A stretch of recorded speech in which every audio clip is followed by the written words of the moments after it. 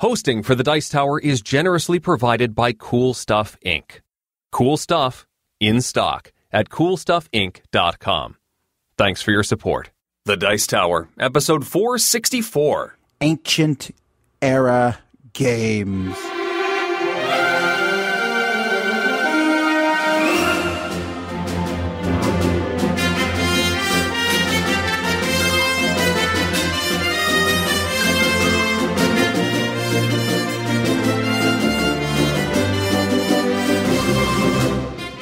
Welcome to the Dice Tower, a podcast about board games and card games, and especially the people who play them.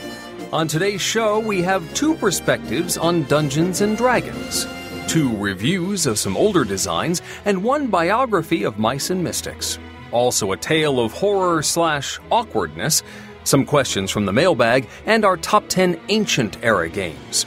I'm Eric Summerer, and here's your host, the man known as Conan the Board Game Librarian, Tom Vasel. That's a that that almost sounds like that's already been done. Well, it was a, it is a gag from UHF, but it didn't have board game in there.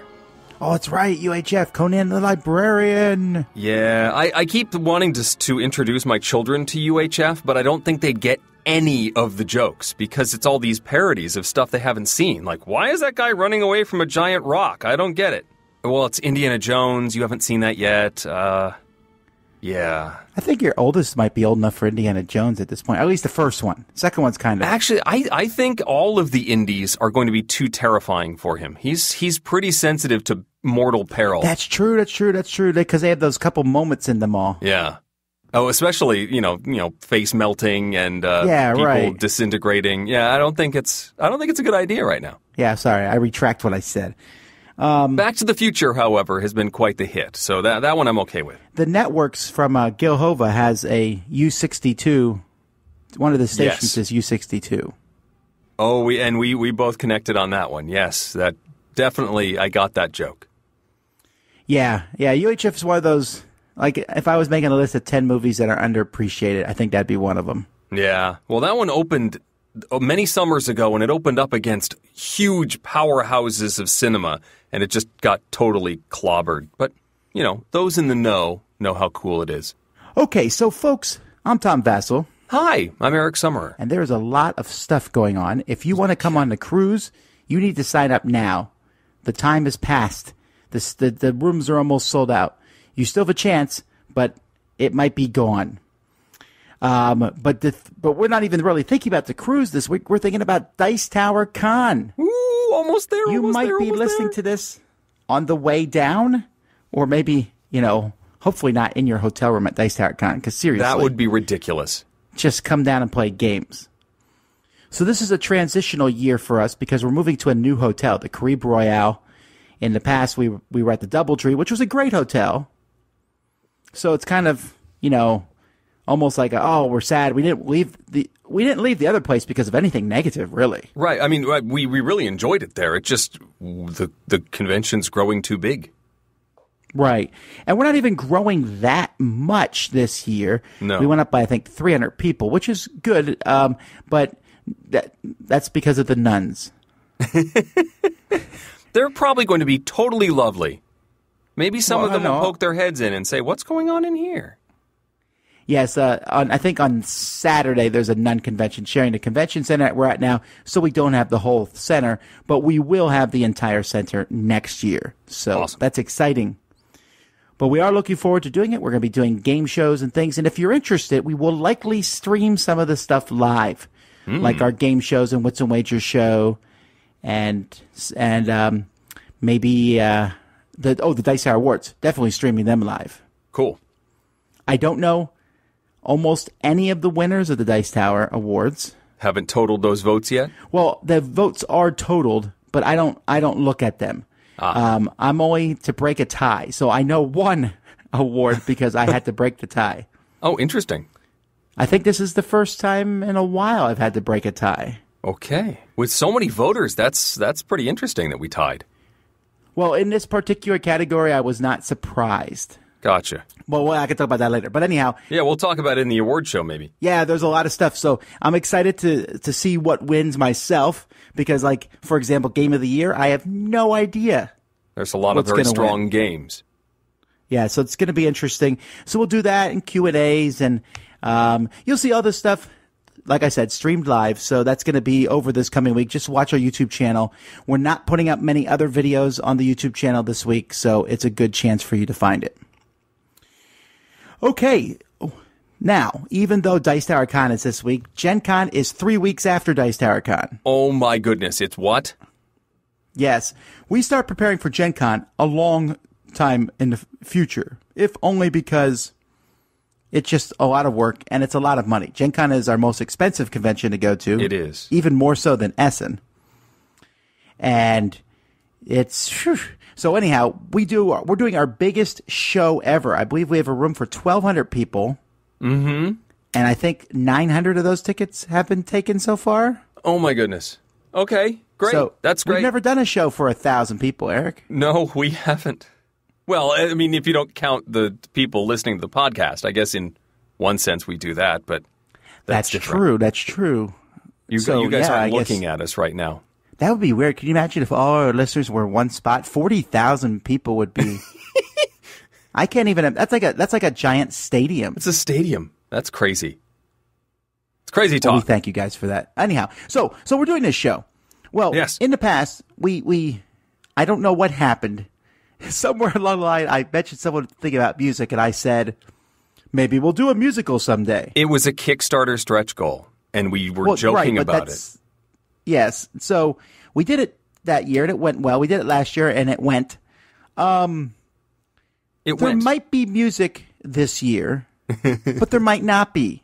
I haven't decided. But what I am doing is I'm going to run a contest. We did this last year. So starting right now from you getting this and until I decide to end it, which will at least be Gen Con. okay. Okay.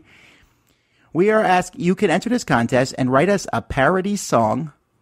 Um, ju- the lyrics to the song. That's all you need to do is send them to me and you would put, uh, Gen Con contest in your heading. Okay. So make Gen Con two words. G-E-N space con, C-O-N space contest. Gen Con contest. Send it to me and I'll enter you in a contest. And if we pick one of your songs, to sing, I'll send you a $50 gift certificate. If we don't pick one of your songs, if let's say we pick nobody's songs, then I'll pick the one I like the best and still send them a $50 gift certificate to Cool Stuff. Hmm. All right. So there may be multiple winners. There may be one winner. We're not sure. Now, a couple guidelines here. It's quite possible you send us a song that someone else also sent us. or at least thematically, yes. Right. They picked the same. They picked the same song that that we're parodying. Um, the the words are very similar. This happened last year. Someone said, "Well, they they picked my song." Well, it just happened that there was some very similar songs sent in. Right. Think about the singers. I can hit a high of a D, maybe an E on a good day. If the song is super difficult, we're passing on it. If the song has a hard tune to sing, we're Right. passing on it. Um, so and and for and for for just maybe we can let go of some of the Disney stuff. yeah, we don't need to go with that theme this year. I think like over 50% of the songs we got last year were Disney. I'm not Yeah. saying no, not Disney. It might work, you know, but maybe we can branch out. But again, and also I would try to pick a song that you think a majority of people know because if I don't know the song, I'm not learning the song and the lyrics. Yeah. That's too much, um, especially since, as we said, three weeks to Gen Con. So this Right. is a contest. Also, though, here's a more interesting contest that's with it. You can you can send in multiple entries, but to, to make them all the same, Gen Con contest. Okay. You can also send us a tale of horror. Ooh. Eric needs a good tale of horror to read at the convention that will be dramatically acted out hmm? by the Dice Tower players. Oh. So Eric is the narrator, and the Dice Tower crew will act it out. So we need a tale of horror that that can be done with. Yeah, probably more about the social interactions of people and not necessarily spilling wine on your game. Right. Maybe. Yes. If you think it would work, send us and we'll give the win. If we use one of those, you will also win. Everyone's a winner. That's not true. Only some people will be winners. Well, you know, if it's a good show, everyone's a winner. So, whew, we'll talk a bit more about Gen Con as time comes by. Uh, but one last thing I want to mention, if you ever want to get a Dice Tower t-shirt, you can go to our website and find them there. But some people have been asking for kid-sized t-shirts, and they are now available on our website. Hmm. Oh, cool. So, if you want your kids to be little towerites, we need a word for that, by the way, Eric. A to- oh, a fan of the Dice Tower? Yeah. Uh, Towerites are nice. Nah, towerites just doesn't roll off the tongue, though. You don't want to call them little vassals because you've got plenty of those on your own. Yeah. Maybe someone has a good name for that. Start a thread in our forums, which, by the way, if you go to our website, dicetower.com, and click on forums, or you go to Board Game Geek, you can find the forums that way too. You can ask all sorts of great board gaming questions, and you would be amazed at the wonderful answers you will get there. You could call them and pips. so, Pips? pips. Tom Vasel and the Pips. Tom Vasel and the Pips. Well, whatever it is, I like to open up the show and be like, "Howdy, Pips," or whatever. Pips. I don't know. I'm not. I'm not sold on that yet, Eric. Yeah, all right, no. Okay. Well, that's all the administrative stuff. Sure. Some of you, you're you're you're like ten minutes closer to Dice Tower Con for those of you traveling. but let's start out with one of our segments from Biography of a Board Game. Every game has a story, and this is one of them. Presenting Biography of a Board Game with your host, Professor Scott Rogers. This time I want to talk about a board game with little heroes and their big adventures Mice and Mystics. Hairstylist Jerry Hawthorne always loved stories about mice. His favorites included the Redwall series of novels, the comic book Mouse Guard, and even a Tom and Jerry cartoon where Jerry Mouse dresses like a musketeer. But, like most fathers, Hawthorne's biggest influence was his own children. At the time, Hawthorne's young daughter was struggling to learn how to read. He says, It appeared to me that she just wasn't into the subject matter, and at the time she was really into mice. Hawthorne had also been a board game enthusiast since childhood, and he thought making a game about mice with reading in it might capture her interest. In the story, six human heroes have been turned into mice by an evil sorceress, and must make their way through a perilous castle filled with rats, bugs, and Brody, a hungry cat. Just like all good children's literature, Mice and Mystics just isn't about the adventures of mice. Hawthorne says, I wanted to tell a story about growing up, rising to your expectations, and the weight and responsibility of authority. Mice and Mystics gameplay revolves around completing chapters in a storybook, which affects the events of the game. Hawthorne was also a fan of dungeon crawlers like Dungeons and Dragons and HeroQuest. Their influences can be felt in the game as players upgrade their abilities, fight enemies, and search for items, especially cheese tokens that give the mice bonuses during gameplay. As Hawthorne was working on his game prototype, his friend, sculptor Chad Hoeffner, was looking for inspiration of his own. Hawthorne suggested that he sculpt a mouse warrior. A week later, Hoveder showed him the finished work, which Hawthorne shared with another friend, publisher Colby Dauch. Dauch was so impressed with the game idea and the mini that his company, Plaid Hat Games, published Mice and Mystics in 2012. The game was lavishly illustrated by John Ariosa, who brought Hawthorne's world of high fantasy to life and based Brody on one of his own cats. The game was a sensation and swept the Dice Tower Awards in 2012 for artwork, theme, and production, and won Game of the Year. It also won the Golden Geek Award for Best Artwork, Family Board Game, and Thematic Board Game in 2013. And it even won the UK Games Expo Best Board Game that year. The game was featured on the show Tabletop in a special two part episode in 2015. The game's first expansion, Heart of Glorm, came out in 2013, a six chapter storybook that features Nere, a wild mystic who helps the players on their quest. The second expansion, Downwood Tales, takes the adventurers into a forest filled with dangerous snakes, fairies, and frogs. It adds new forest tiles, abilities, and three new characters that can join the player's adventuring party. Several Lost chapters were released exclusively on the Plaid Hat website. Cat's Cradle in 2012, The Ghost of Castle Andon in 2013, and Portents of Importance in 2015. These can be downloaded along with a Story Moments MP3 file that can be played at appropriate moments in the game. Still need more Mice and Mystics? The 2015 game Tail Feathers, also designed by Hawthorne, is based in the same universe and is compatible with all the characters from any of the Mice and Mystics sets. Mice and Mystics is a great game for introducing young gamers to the excitement of role playing, without having to deal with complicated rules. While its roots lie in classic dungeon crawlers, its emphasis on storytelling is leading the charge in the current trend of storytelling based board games. Next time, we'll look at a game that can only be described as a modern classic Ticket to Ride. Until next time, this has been Biography of a Board Game with your host, Professor Scott Rogers. Mice and Mystics really did wonders for um, Plaid Hat. Oh, sure. It's a game that's just done so well for them. Yeah. And so it's exciting to see both them and Jerry do well because of that. That was just like almost a perfect matchup. Well, it's also nice that uh, he he has his own office in the Plaid Hat Studios now, so that that should mean that he's uh, being a little more productive and, and able to focus on these projects as well as his hairdressing career. Right. Incidentally, I'm curious as to why Tail Feathers has not taken off that well. I don't know. I don't believe I've heard anybody talk about it. Well, you you've heard uh, the reasons why my son has refused to play it. He he um doesn't like that it's not cooperative. I mean, one of the the wonderful elements of about Mice and Mystics is that it's a cooperative game. You're playing against the system. You're all working together to fight the bad guys, and the fact that Tail Feathers is a, a PvP game he really has no interest. I show him the cool birds and everything. Look at this. It, he tilts, he turns. Look at the cool stuff you can do with the ground troops. Nothing. That's interesting, though. He likes King of Tokyo. He does. Uh, it's very strange. Like, King of Tokyo has worked. I can often get him to play a competitive game if I, I just set it up and and just sort of start going through the motions and pretend I'm playing against him, and he'll sometimes jump back in. But Tail Feathers has been complicated enough that I don't feel like I can do that without giving him the full tutorial. Oh, I see, I see, I see.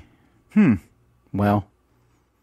Well, speaking of games, I have had a chance to play the new Guildhall Fantasy Trio. All three? Oh boy, oh boy, oh boy. Well, yes. Guildhall is a game, uh, a card game from AEG by Hope Hwang uh, that came out, I don't know, five years ago or so. Uh, it's a little less than that. and then they yeah. came out with they came out with a sequel called Job Fair.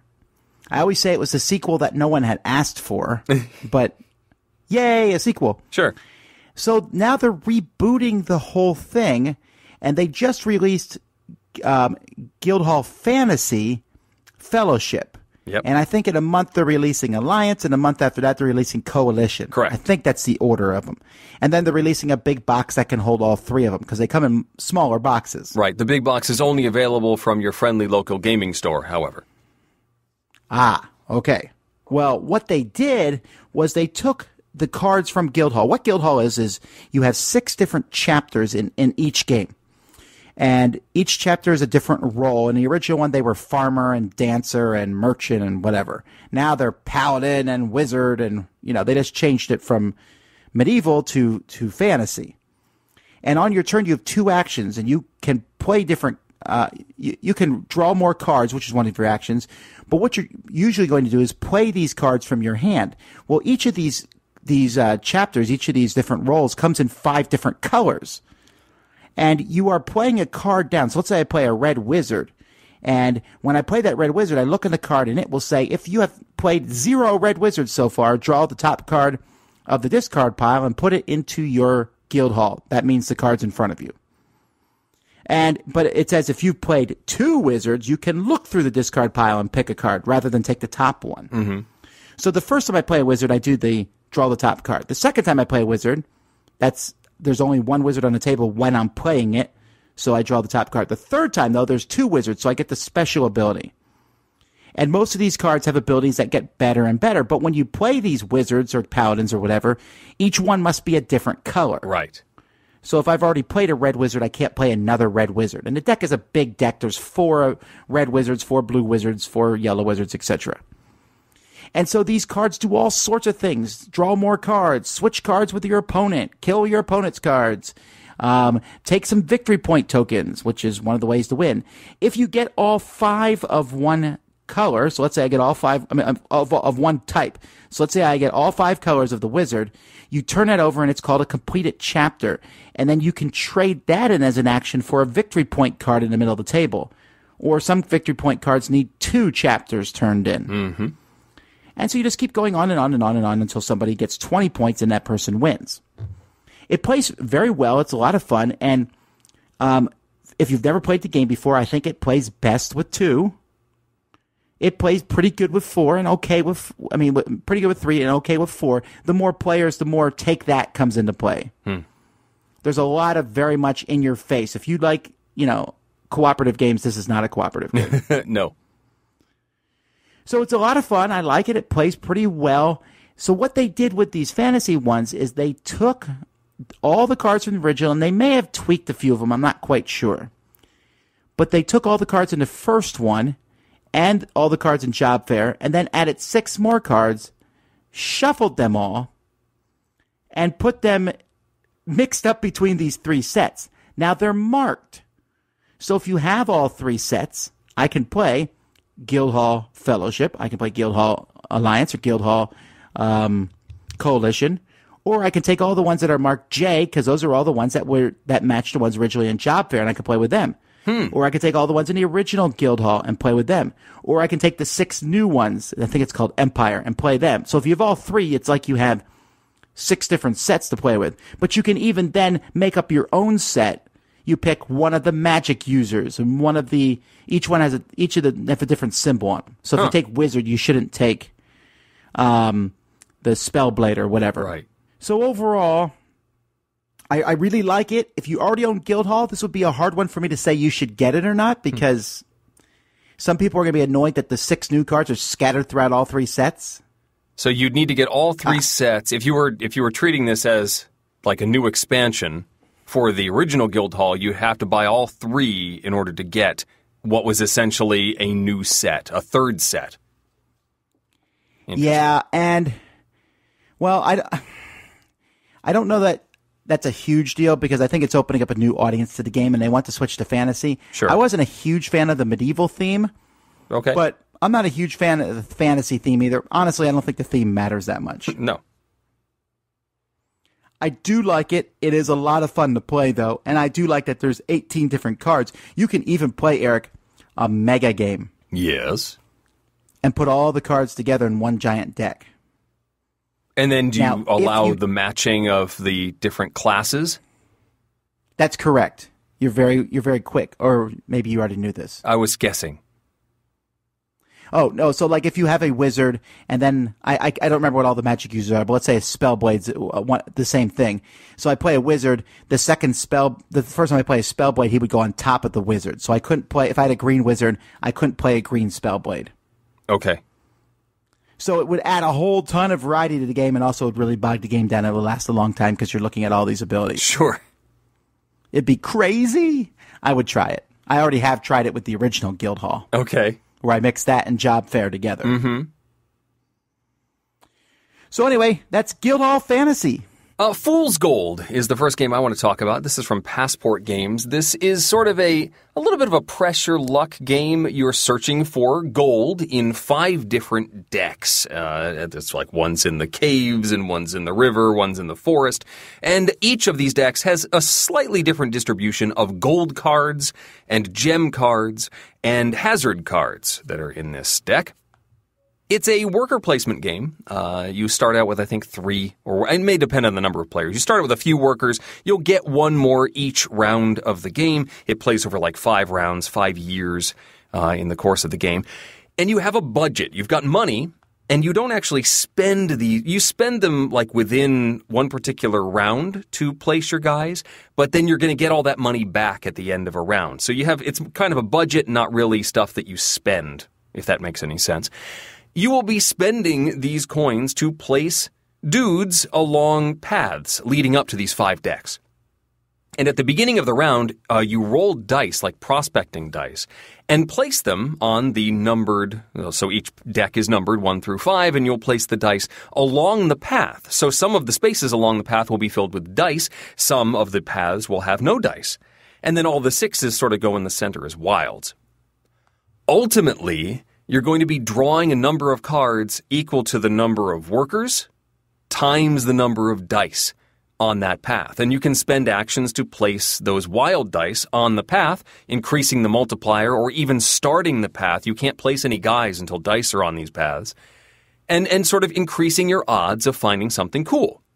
Then there's a little bit of an area majority thing. So after everyone has placed their guys, they've all passed in turn, then you go deck by deck and you'll draw, say it's uh, th- six cards. You draw six cards, and uh, whoever has the best position, the most guys in that deck, is going to get to choose first, draft first. And, and then they take their guy off the path and you reevaluate who gets next pick, who gets next pick after that.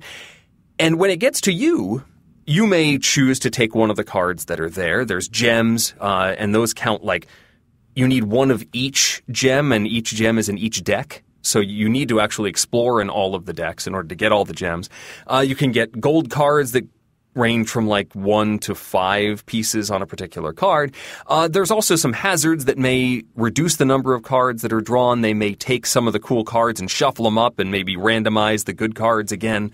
Um, but when it gets to your turn to choose, there might not be all that great stuff. There's oh, there's also silt. I forgot to mention that. Uh, there's stuff that's worth nothing. And as cards are removed from the decks as the game continues, the silt is going to go back in, kind of like uh, the Thebes, where you've got the dirt, the junk goes back in, so your chances of finding good stuff goes down as the game continues.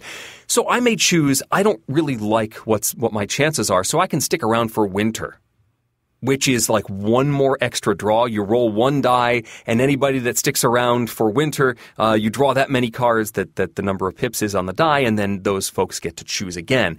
Uh, and you don't get as many options, but it's sort of a Hail Mary pass to see if maybe you get something good if your options are terrible to begin with.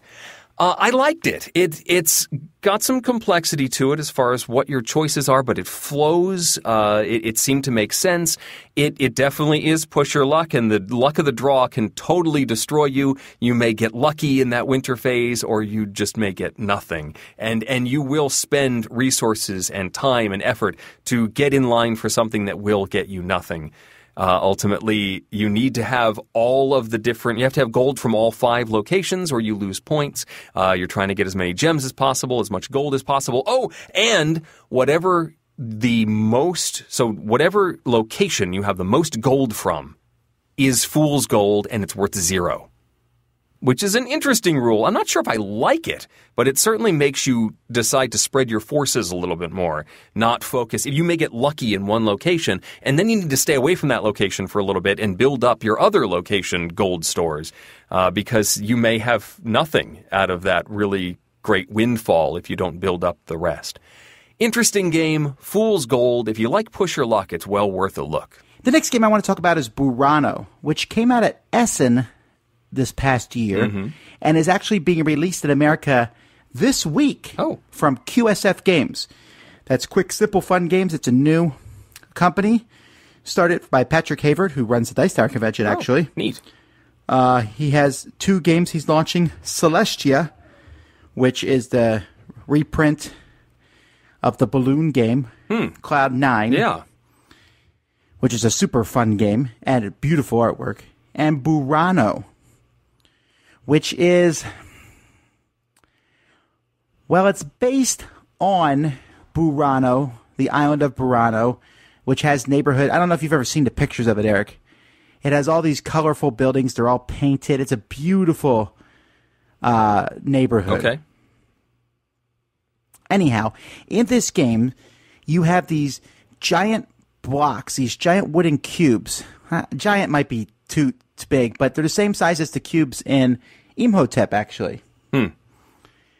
And you are placing these cubes as the game goes by onto a board and then putting roofs on top of these cubes and then putting cubes on top of those roofs and then connecting those cubes with roofs. And it looks really cool. Hmm. But the game is actually a pretty thinky Euro game. On your turn, you will be building a pyramid of blocks and uh, at the beginning of each round. And then you'll be taking these blocks out and placing them into a ready area, and then from that ready area into the city. And when you place a block into a city, that block will correspond with an action. An action might be fishing, it might be lace making, it might be getting money.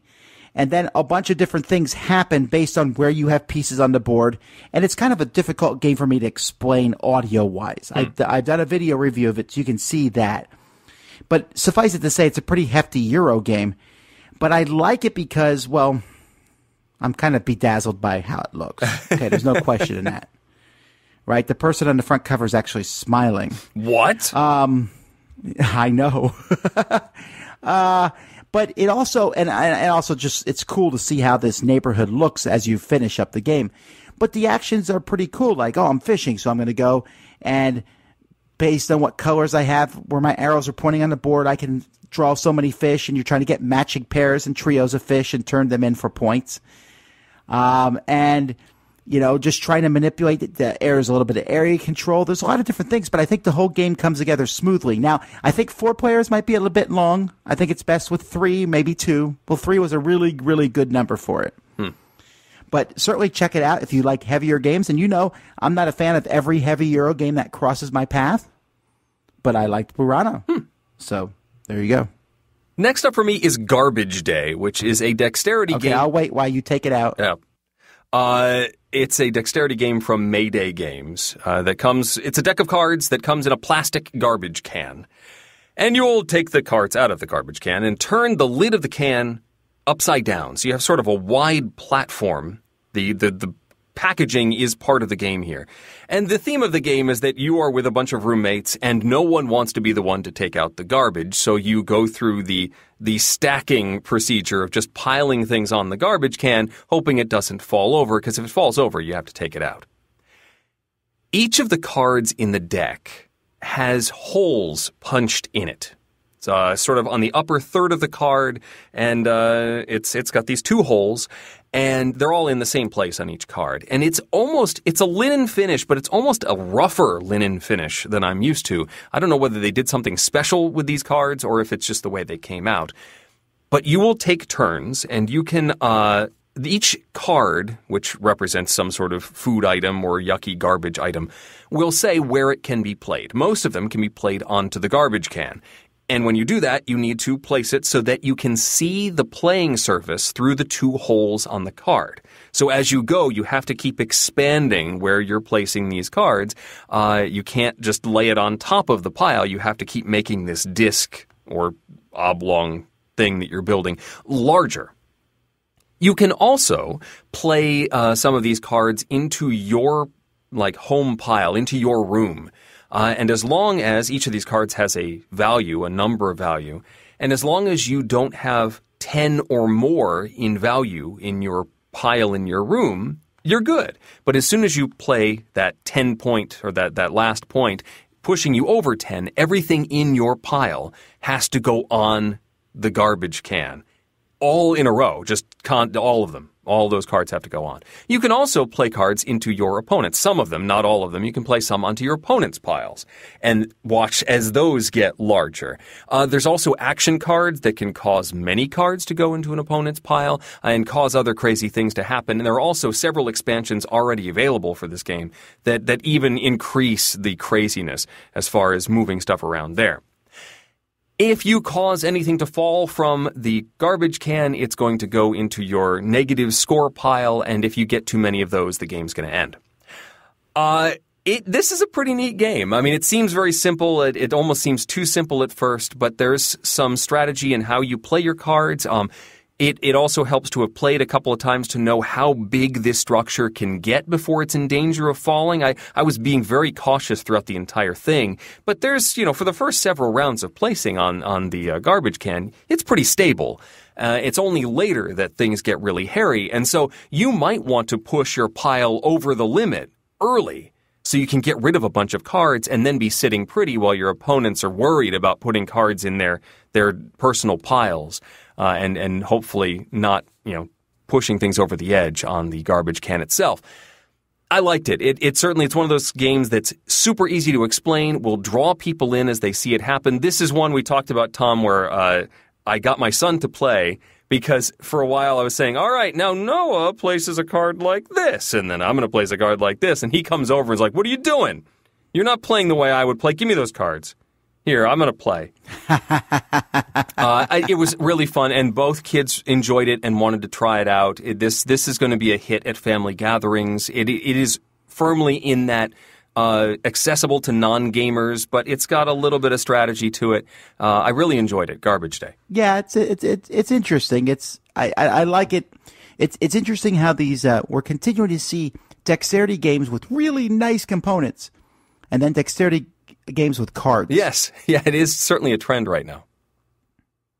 Yeah, but it's a it's a decent trend.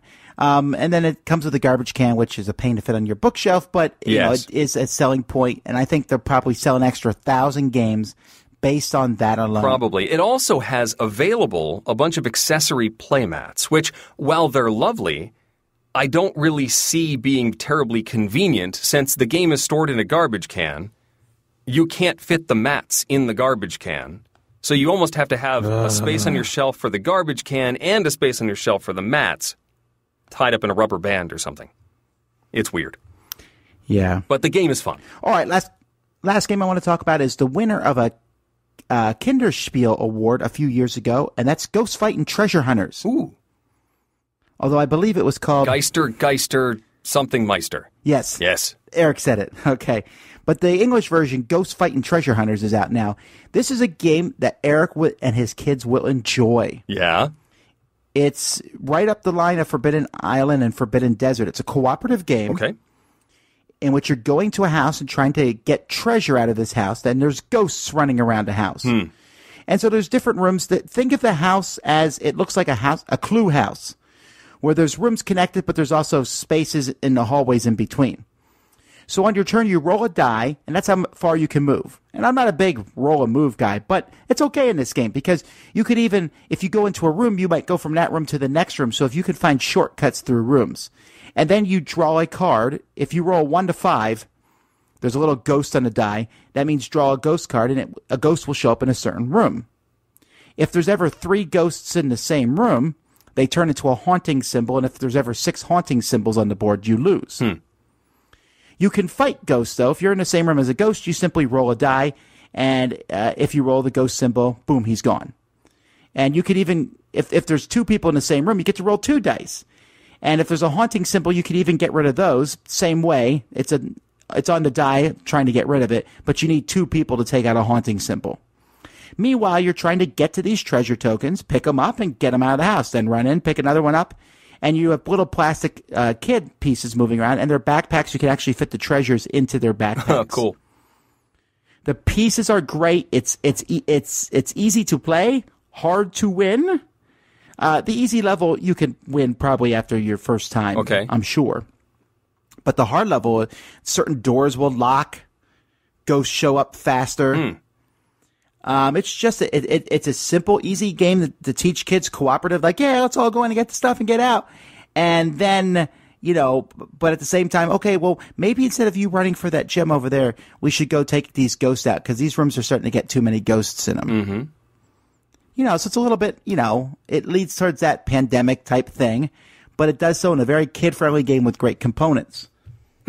To the point where I actually added it to my collection. I had to cut something, so I cut Spinderella, which saddened me. But I think I like it better than Spinderella. okay. The cooperative thing just goes over really well with kids. Uh, who's uh, who's publishing this one? Mattel actually is where I got it from. Wow. It was designed by uh, Dale Yu, or Brian Yu. Sorry, Brian Yu. Okay. Dale's brother, Brian. Um, and I believe very shortly you will see a Ghostbusters version of this. Uh, of course you will. but that's okay because that's a good game with a good IP. Nice. So anyway, that's Ghost Fighting Treasure Hunters, which you have to admit is a pretty cool name. That is too. also a cool name. And it's going to be Oh, Ghost Treasure Hunters, I guess. I've come up with Vasel's Law number two. Oh. I'm, I'm waiting with bated breath. If you can't put an exclamation point at the end of your title of your board game and it sounds good, then your title is terrible. Wait. okay, wait, what? If you can't add an exclamation point to the end of your um, board game title, then get a new title. Let me okay, let me try that. Garbage Day. That's right. Fool's Gold? Yeah, all right. See, if it doesn't work, it's not a good title. Guildhall Fantasy? And this is where, you know, the, the guy behind the scene would go, This is obviously not really a law. Please do not argue to the death that Tom doesn't know the difference between a law and a theory. All right. Um, I'll, I'll let you go on that one. Uh, my last game, which I guess you could yell, is Dead Last. That's right. And I'm playing this this week. Are you? Uh, okay, so this is a new one from Smirk and Dagger. It is a large group uh, social bluffing game. Uh, the the theme is that you are all part of some sort of crazy insurance plan that you've all paid money into, and the last person standing is going to get the payout. And you know, rather than play by the rules and just let nature take its course, you've started to turn on each other. So each person has a color and a little standee, and you, I think you can play up to twelve. Yeah, we played with eight. And yeah, there were four more in the box, up to 12. And uh, so you have your standee, and then you have a deck of cards that represents all of the other players in the game. Oh, they're all colors. So you're green, and you've got all the other colors in your deck, as well as an ambush card. The game begins by putting out uh, four treasure cards, and these cards range from three to five. The ultimate goal is getting to 25 points. I think it may be 24 if you're playing with the large, large groups. Uh, and, and you do this by winning a round. A round begins with everyone standing, and then everybody starts talking or glancing or texting or pointing or flashing cards, and the group is deciding who they're going to target. This round ends after about 90 seconds or so when somebody says, okay, let's vote. And you're looking around going, um, I don't know who we're voting for. They're probably gaming, aiming for you at that point. But everybody puts their, their card down. They have picked a target. And then you flip all the cards up. Whoever the majority is, is the target. If the, whoever has more uh, cards showing than anybody else is the target, and they have been attacked. Uh, and they would be out. Anybody who didn't vote for the target, who wasn't in the loop, whether they were shot out or not, is also out. You were voting for the wrong person. If there's a tie, they're both targets. However, if you think you're about to be targeted, you can play that ambush card. And then, rather than you being out, you get to pick one of the people who targeted you. And they are out. Now, that's only the case if you were actually the target. If you played the ambush card and you weren't the target, even if it was like only one guy who tried to shoot at you, but if everybody else shot at someone else, you're out. So it's fast and furious. You, you're going to knock out like half the people in the first round, uh, or, or the first play of each round. And you continue like this, whittling people down until you're down to either a single person and they get all four treasure cards. You're down to nobody and then nobody gets the treasure cards and you simply reset. Or you're down to two people and then you do the prisoner's dilemma thing.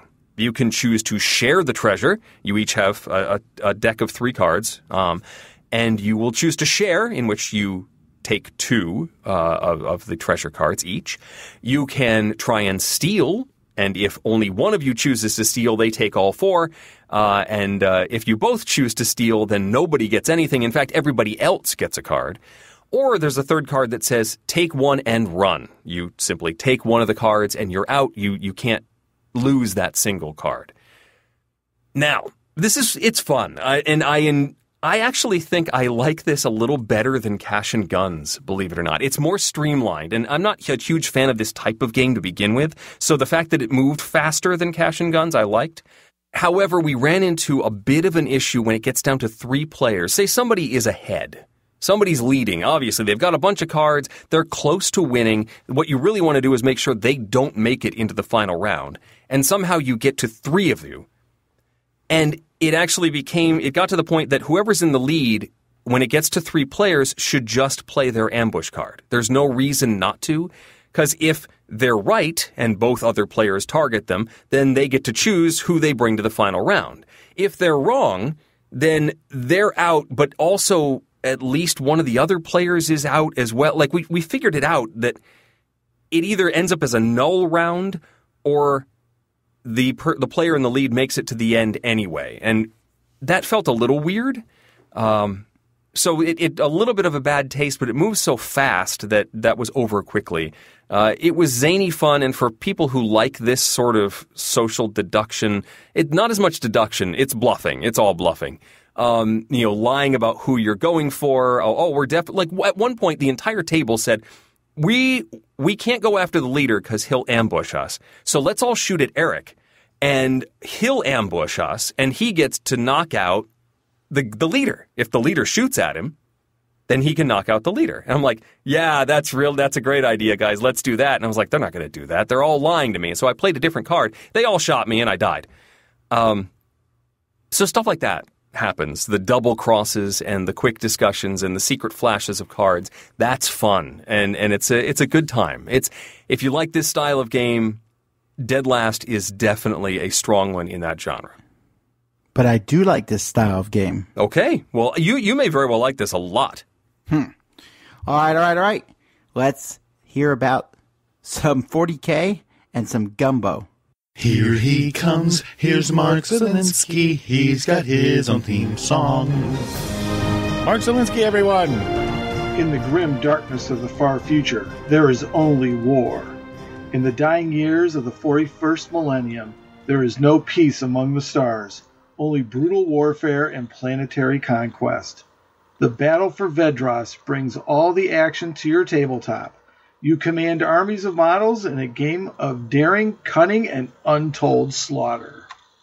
Hey everyone, it's Mark Zielinski, and today we're going to talk about Warhammer 40k Battle for Vedros. And I have got to get a tip of the hat to Games Workshop. They have finally come out with a introductory game for Warhammer 40k for the regular person. Yes, this is so awesome. And it is so awesome, you can't even buy this in a regular game store. You're going to have to go and uh, find this in a toy store, actually. So, some of the first stores to sign up to sell Battle of Vedros True Value Hardware, Whiz Kids, Hobbytown USA. I mean, yeah, that's uh, where you're going to have to go. There's even an Evergreen Supply in Spokane, Washington. So that is that is so awesome. They are finally going to bring 40k to the masses. The retail price for this set is just $50, which for a Games Workshop product is pretty good. And the box comes with 28 miniatures. Uh, there's going to be one Space Marine Captain, six Tactical Space Marines, one Space Marine Terminator, one Space Marine Dreadnought, one orc war boss, five orc knobs, 12 orc boys, and one death kappa. Yeah, and of course the Battle for Vedros rulebook, and there are also some dice.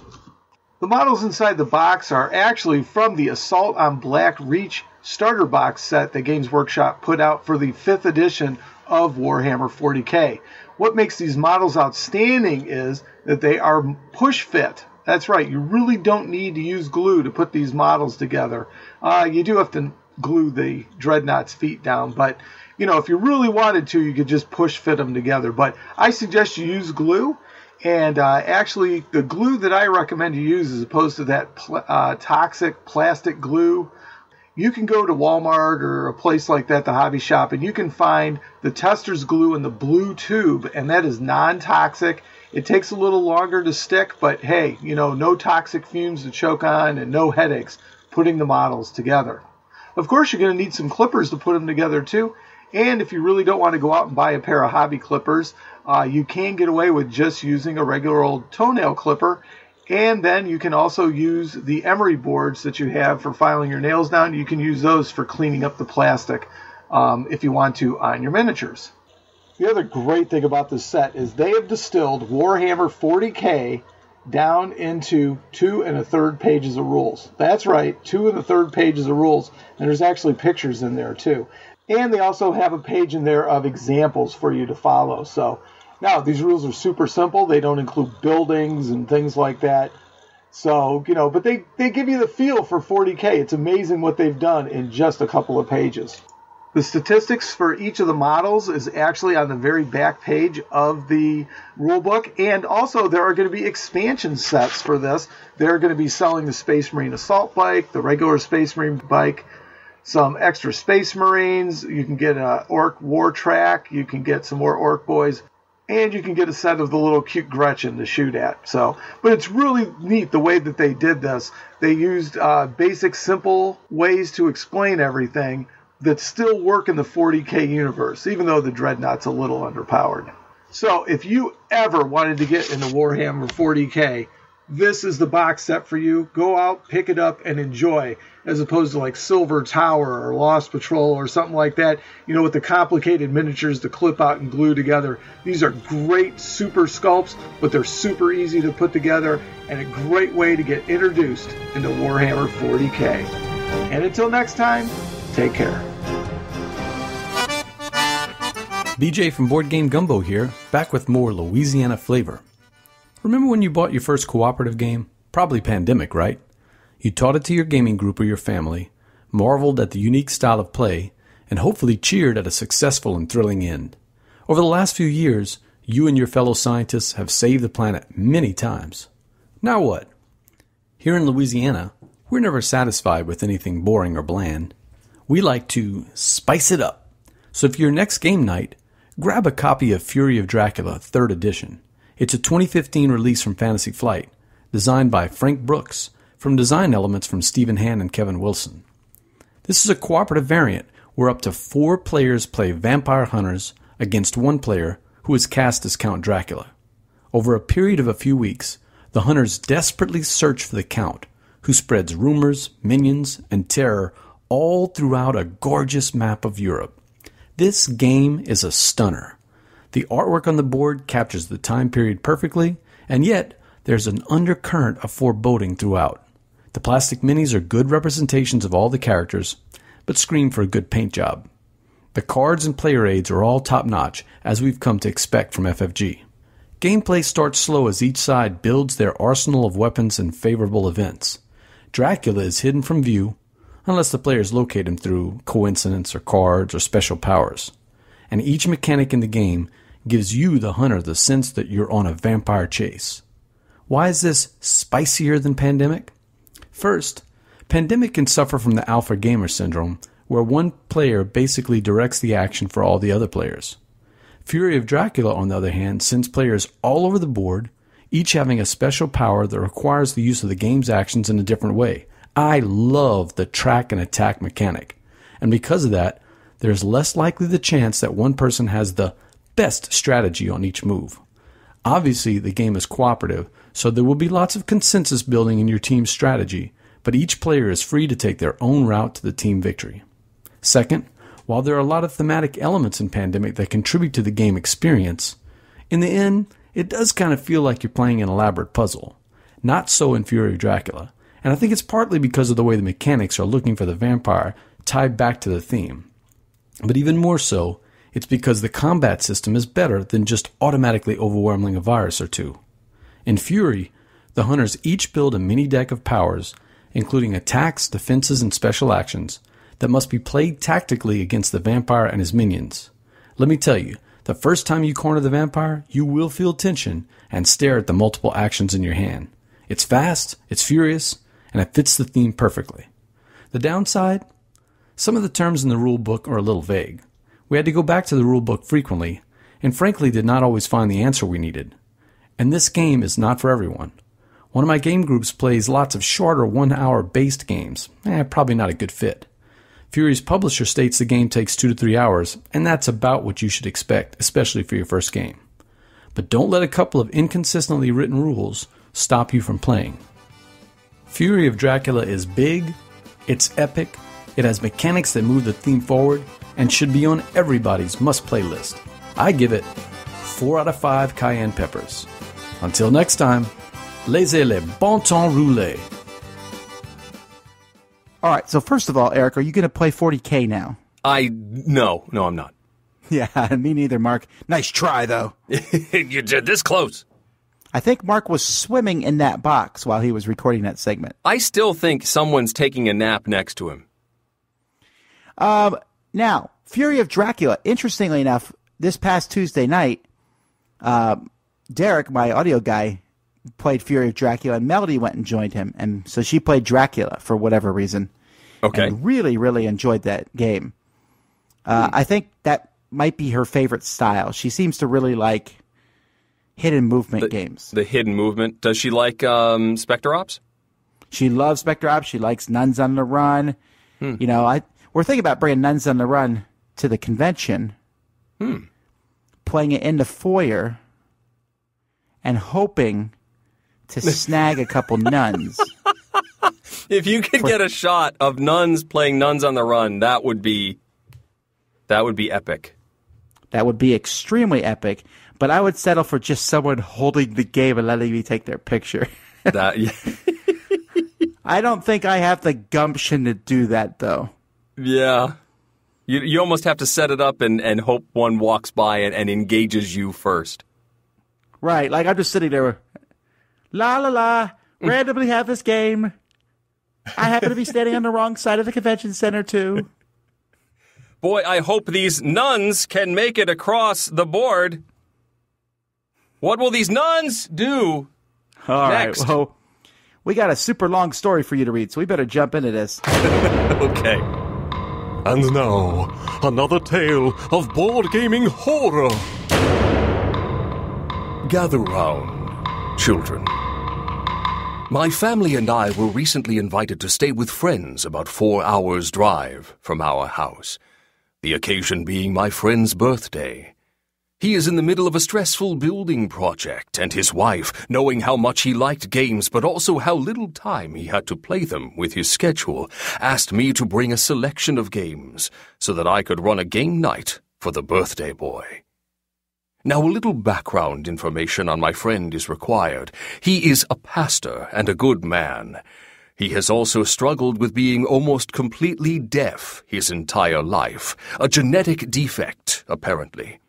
With hearing aids, he can work around most situations, but functions best when he is able to see you and lip read.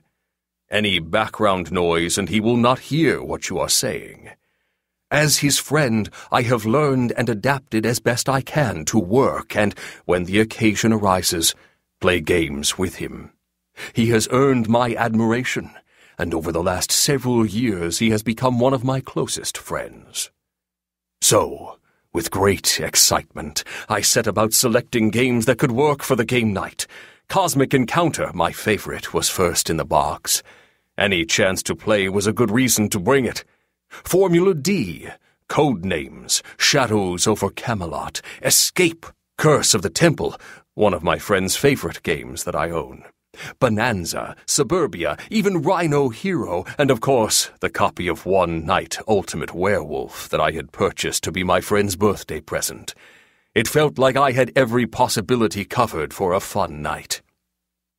It was late on the night before the gaming event was scheduled, and my friend and I eagerly looked through all the different games that I had brought along. I pitched briefly each game to him, and he was excited by all of them, with Escape being top of his list to play again. He began telling me about this game about werewolves that he had played. His brother had brought it over, and they had played it together. He really enjoyed it. I reached under the pile of games and pulled out his new copy of One Night Ultimate Werewolf. He was astonished. How did I know? His wife grinned from ear to ear. Of course, she had been the person to feed me the information. So, the game night arrived. My friend's brother, shall we call my friend John and his brother Mike? Yes, let's. John's brother Mike was coming over with his wife. There would be six of us John, Mike, myself, and our ever patient wives. Mike arrived with his two new games, King of Tokyo and One Night Ultimate Vampire. He was so excited to play them both. He was then informed that I had purchased John a copy of One Night Ultimate Werewolf, and John was eager to play that. It looked like Mike would have to wait a little longer, weeks maybe, to get an adequate group together to play Vampire. I could see he was perhaps just a little annoyed, but he was a good sport and realized it was John's birthday. Mike then proceeded to be shown all the games that I had brought along. While being a new hobby gamer, he was excited to see in person some games he had only heard about. I did notice that he pushed his copy of King of Tokyo a little further away while looking just a little more dejected. I felt a little awkward, like I had rained on a parade that someone had surprised me with on a day I had scheduled to rain on for months in advance. But I was determined to make it a fun night. After a delicious steak dinner, the games began. First off was One Night Ultimate Werewolf. We played several rounds. We laughed at the witty comments of this strange man on the app. We accused one another. We laughed, and we had a great time. Next, we pulled out Escape, Curse of the Temple. I explained the rules, and we were off. Everyone was yelling and screaming and having a great time. Everyone except for Mike. He just seemed frustrated. The first game finished, and everyone was excited for a second round. Everyone except Mike. He seemed a little lost as to what he and everyone else were doing, but had seemed to understand the rules so clearly. I couldn't understand why someone so into games couldn't keep up. I guessed it simply wasn't his style of game, and after our second play, I commented as such to him. He simply looked at me, smiled, and said, No, not really. Something needed to change. Everyone but Mike was having a great time, but I am one of those annoying people that insist on everyone having a good time, and so I went to pick out the next game. After a moment's deliberation, I decided that the thing that would make Mike the most pleased was to go for his copy of King of Tokyo. It was only right. One of my games had been played, one of John's games had been played. Now one of Mike's games would be played. I was very familiar with King of Tokyo, having recently traded it away in a math trade. I had taught the game many times. We all chose our characters. Mike seemed excited to see how it would go with a full complement of players. We sat about talking and laughing for a bit, but Mike had not begun to explain the rules. Time was ticking by, and I was getting a little antsy. Was Mike going to explain the rules? Was he waiting for me to do so? Mike was just looking down at his Gigazaur and playing with the plastic base that supported it. Finally, after some deliberation, I said, So, do you want me to teach it, or do you want to teach it, Mike? Everyone, except Mike, who did not even look up, encouraged me to start teaching the game. I hesitated for a moment. I know how much I enjoy teaching new games. I love to put flavor into and be a little dramatic. Was I stepping on Mike's toes? He had not protested, so I decided in that moment that he must have been okay with it. I began to teach the game. A few moments into the explanation, Mike looked up. His expression indicated that he had only just realized what was going on. I was teaching his game. I stopped mid sentence. Do you want to teach the rest? I asked, nervously. He said, No, go ahead. And he waved his hand as if he didn't care. He cared, all right. I could see it on his face. His wife spoke up. Keep going, she urged me. Mike turned to acknowledge what his wife had said, and that was when I noticed it. A small, almost skin colored hearing aid in his ear. Genetic hearing defect. Males in the family suffer from it. Females are carriers. It all clicked into place, and the color drained out of my face. He had not heard me ask. He had been waiting for us to stop speaking so that he could teach the game. He could not hear what everyone was saying in Escape, Curse of the Temple, which is why it was not his type of game. I later learned that he had poorer hearing than John. Now, whenever I sit down to play a game that belongs to another but already know how to play, I refuse to speak up and I think I need to invest in the hearing aid detection system on Kickstarter. Hmm.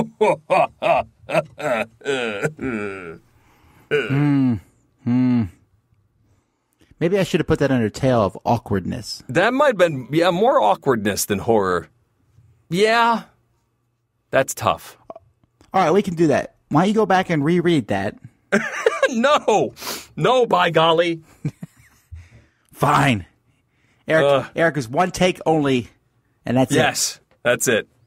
That's how he does his books, folks. Never has to redo them. No, I do, but once I pass a chapter, I'm done. Although I did have to re record a book once. That was sad. Hey, you told me about that. oh, yeah. Yeah. Ah, I feel your pain on that. that one. was uncool. Anyway, So the moral of the story is really just it's good to get to know people as well as you can.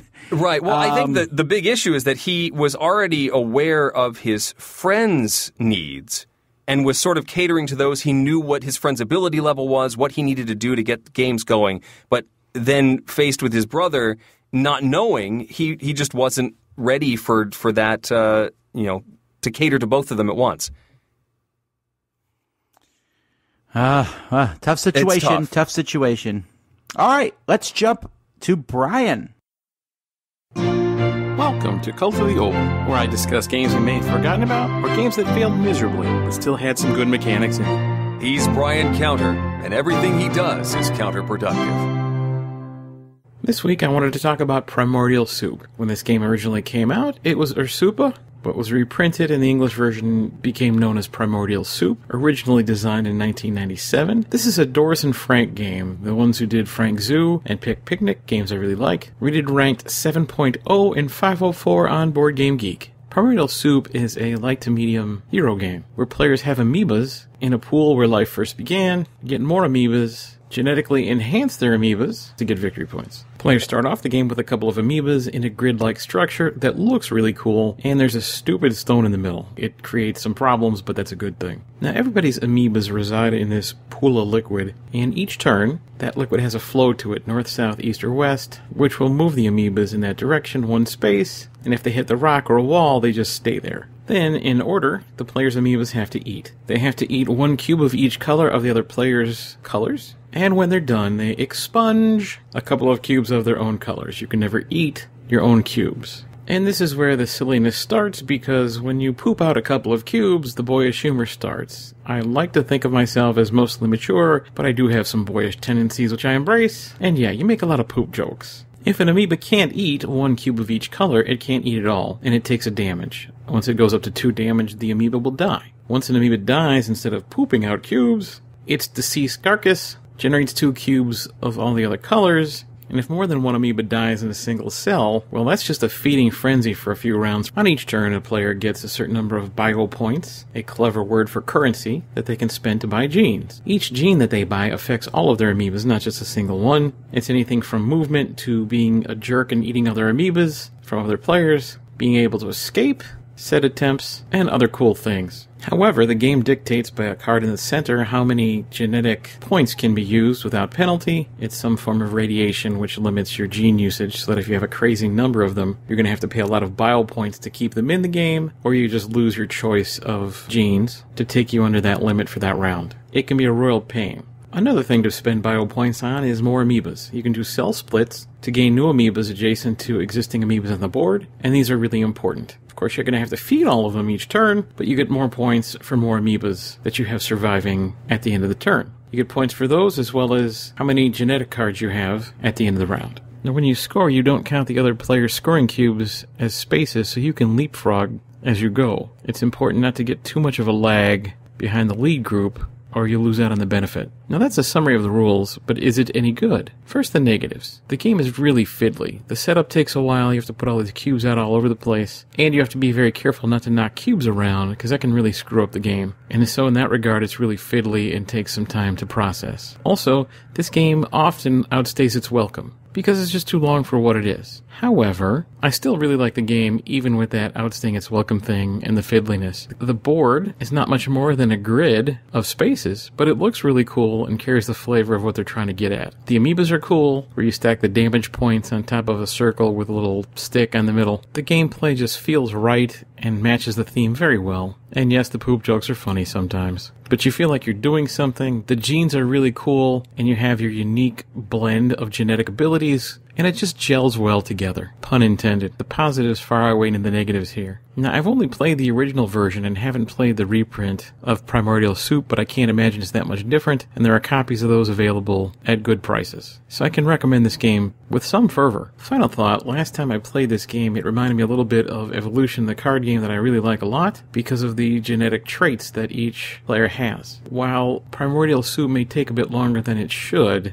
and Evolution is efficient without a board, there's something about that board that makes Primordial Soup pretty cool. So in that strand, both games are good for their their own reasons, in my opinion, but you can see how evolution improved a little bit on the time factor.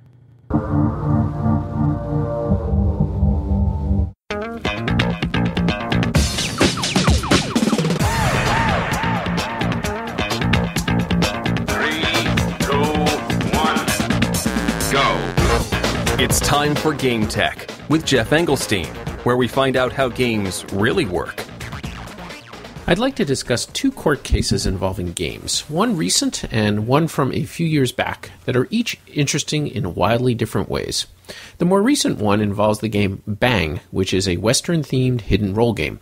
In 2007, Ziko, a Chinese company, released a game that had exactly the same rules as Bang, but instead was set in China and is called Legends of the Three Kingdoms.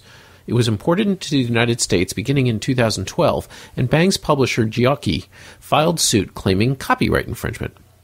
Now, interestingly, both parties agreed on all the facts of the case. Ziko freely admitted that the rules of the two games were the same, but Ziko claimed the game mechanics are not protected via copyright. The U.S. Southern District in Texas recently released their final ruling, and they agreed with Ziko. Game mechanics are not covered by copyright. Anyone can copy the core of a game, and as long as the artwork, character names, and other protectable elements are not copied, the rules themselves can be. So I could completely legally make a version of Cosmic Encounter about fantasy pirates with special abilities battling to conquer five islands. Maybe I couldn't convince people to purchase the game, but I could absolutely publish it. Now, this is broadly in line with what courts have ruled on with game mechanics in the past. They are not copyright or protectable unless you go as far as to get a patent on particular concepts. Now, that has been done, notably by Wizards of the Coast around Magic the Gathering, but the mechanics in most games have been done in some form or other before, and so designers rarely expend the time or money to attempt to get a patent. Now, as a game designer, at first glance, I was not happy with this decision, even though it is not unexpected. But as I thought about it more, I realized that it actually is a good thing. If certain elements could be easily copyrighted and protected, I am confident that the game industry would begin to suffer under the weight of lawsuits flying around. I don't see how you could separate how small an element could be copyrighted. Could the effect of a single card be protected? Could a particular special ability? Would it have to be the entire game package that can't be copied? And if so, how many elements would have to change before it's not a copy anymore? These are all litigious areas that other industries have struggled with, and I think it would be a bad rabbit hole for the industry to go down.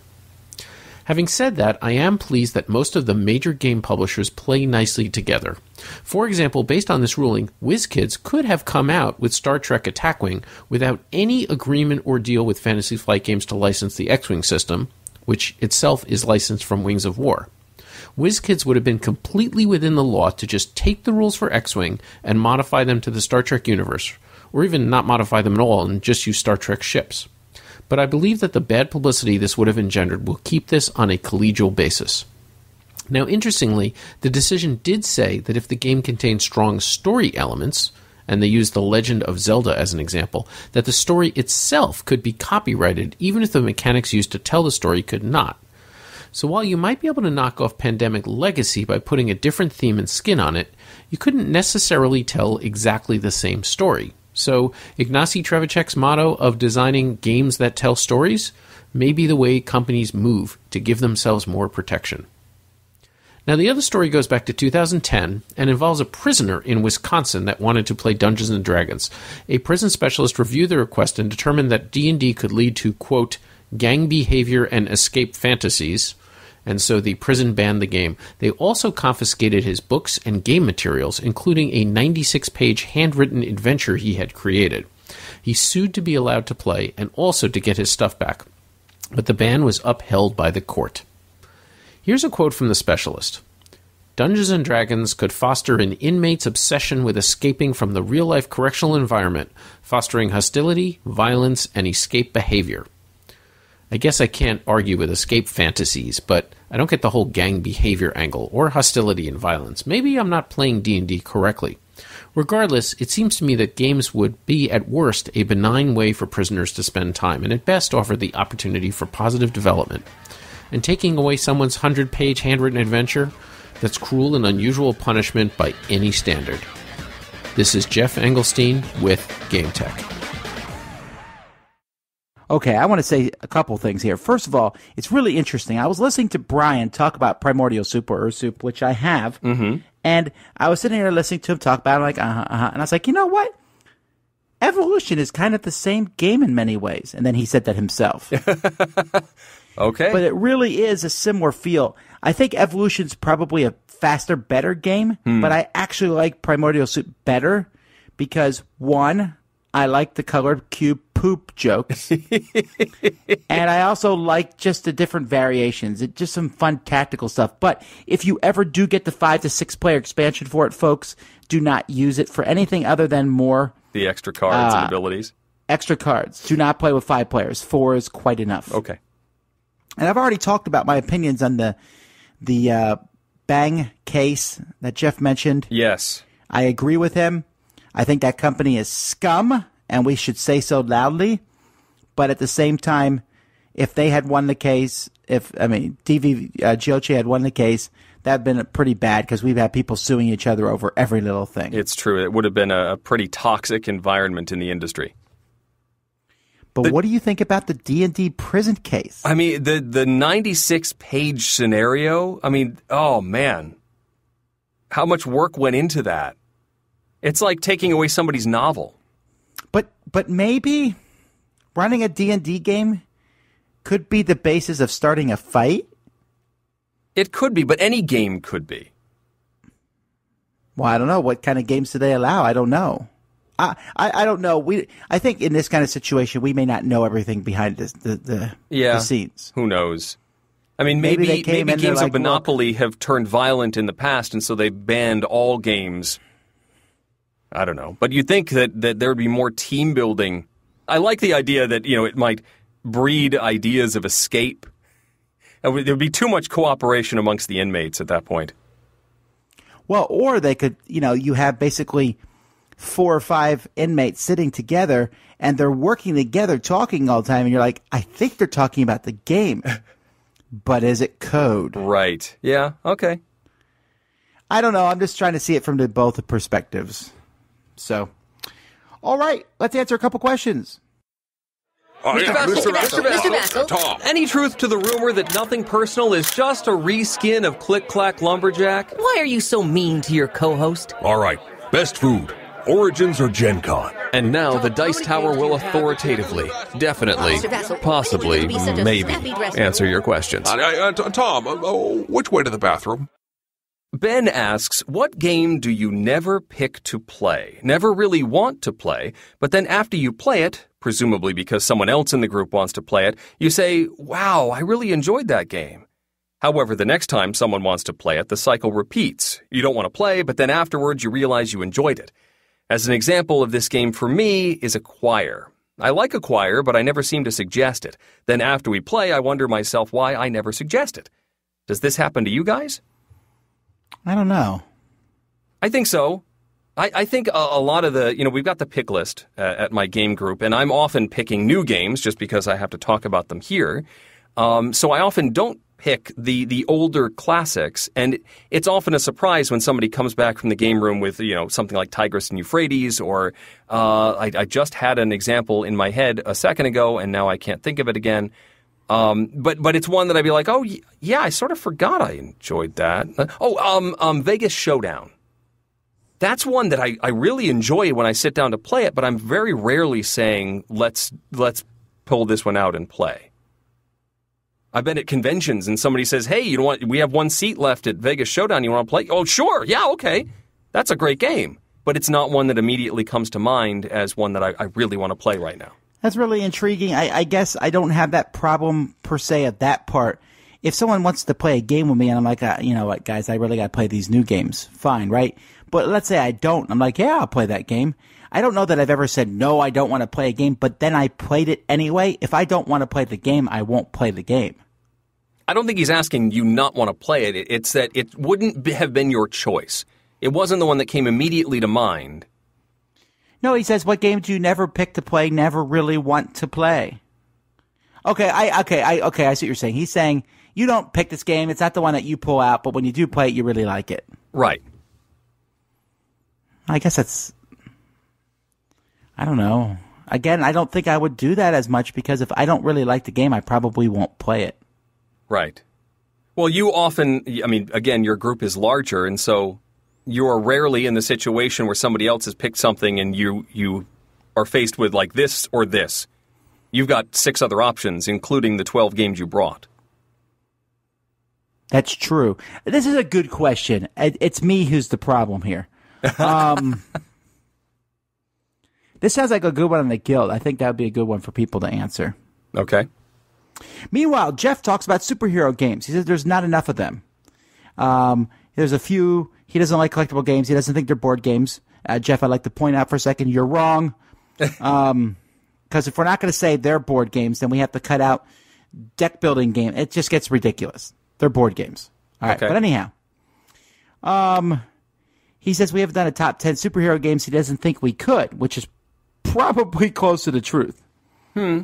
I think I could do t- top 10 superhero games, but there wouldn't be a lot of divergence between me and Eric. No, we'd probably is- come up with many of the same things.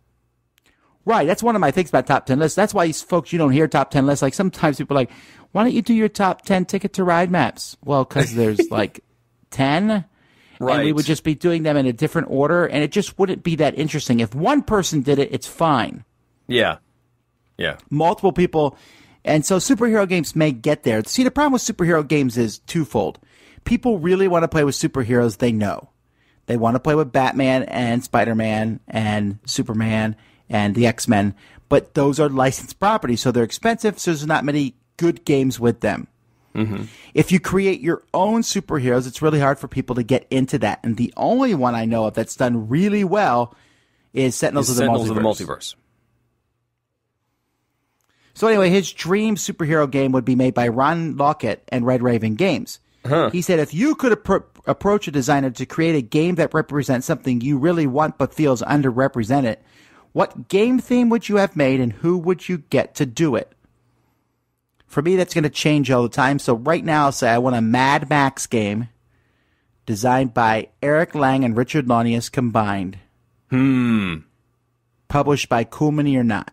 Man, you you took a bunch of ringers. Uh, well, th- I could uh, dovetail off of a discussion that's been going on in the guild at Board Game Geek on underutilized IPs. I've, I've said before I would love to have a Stargate game. I think Richard Launius would do a n- lovely job with that as well. Maybe Andrew Parks, but I feel it would probably end up looking a lot like the Mage Knight uh, Star Trek game. Um, I don't know who would who would do a good job on a Stargate game. That's really cool, Eric. game. I just started watching Stargate today. I Oh. said, oh, you know what? I haven't seen this show. I've, I've never watched all the episodes, so I'm starting from episode one. I'm going to go through it. Okay. It's, Did you it's- watch the special edition uh, pilot, or did you watch the the one from Showtime? I don't know. It's I'm watching it through Amazon Prime, Okay. but I have I it so far. I've only I'm I just started the second half of it, so it doesn't look like it was on Showtime. if that Okay. makes sense. Yes. the the uh, so Star, SG One Stargate SG One aired on Showtime for its first several seasons, and the pilot episode they like pushed the envelope on what they could show, and then they the producers I guess won the battle with the uh, the the network and said we don't want to make a show like that. We want to do the show that's a little more family friendly. And so the pilot is the only one that goes in that direction, and uh, the the rest of the show is much more family friendly.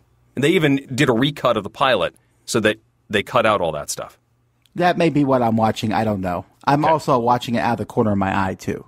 Ah, well, it's an excellent program, highly recommended. Anyway, that, that answers Jeff's question, kind of. All right, well, we don't have a ton of time in the show, folks, so we're going to answer only one more question. We'll try to get more in a future episode. Um, so here we go. Nathan writes from Pikeville, Kentucky. Uh, he's been listening, watching content. Uh, in episode 449, we were talking about discounts and price matching, and uh, Eric, me, mentioned that the local game store would not be able to price match online stores. I, I, I believe I said that would never happen. You guys also seem to think it wouldn't be appropriate to even ask. I just wanted to say that there is at least one store in America that can and does price match and welcomes it. In fact, my shop even posts signs all over the store about us price matching. We don't outright have a discounted price on the shelf since we accept trade ins on various items. The MSRP is what we use as our trading on price, if you will. Anyway, I hope this is a little heartening that there are small, locally owned game stores that do their best to compete with online pricing. That's fascinating, and I'd love to know how it makes financial sense. Right. He said he, he thinks that it would be heart heartening, but I'm sitting there thinking, oh man, I, find I in the last for this couple store. years, Yeah. it just doesn't seem. How do you make money doing that? Because when you sell them that low, it, you need volume. That's how the online stores do it. Right. Um, I mean, maybe he talked about the, the trading in, um, selling used games. Maybe that element of the business is enough to keep things going and, and to allow this sort of price matching. Uh, It's fa- It's great to hear that, that there's a store that can do it. I'm just not sure how it works. Well, either way, folks, if you live in uh, Kentucky, go, go, go. there you go. so that's the store again is Game Zone. It's in Pikeville. All right. All right, let's go back in time. But wait, Gonna go no. back in time. Wait. Before we go back in time, we have a couple more segments.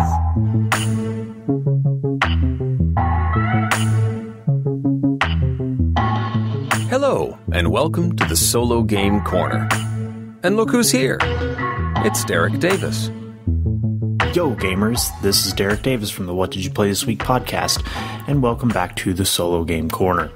So, last time I talked about how Imperial Settlers' engine building system gave me a hankering to get Sentinels of the Multiverse to the table. But there's one other game that Imperial Settlers makes me want to play solo Imperial Settlers.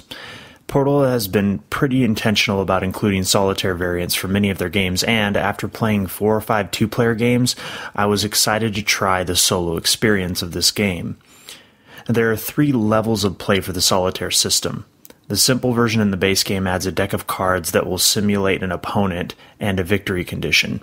You need to have more faction buildings in your society than the virtual opponent has common cards.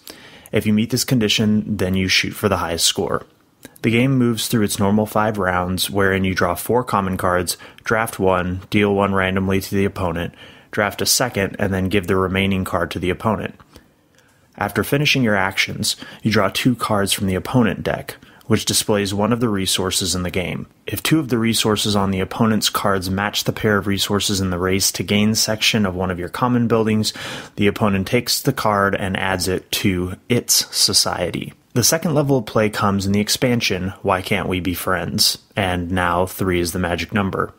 Faction cards are added that give the virtual opponent a unique ability, like draw three of the opponent cards at the end of each round instead of two, or getting three buildings at the beginning of each round instead of two. The final level is the campaign mode, which is available on the Portal website.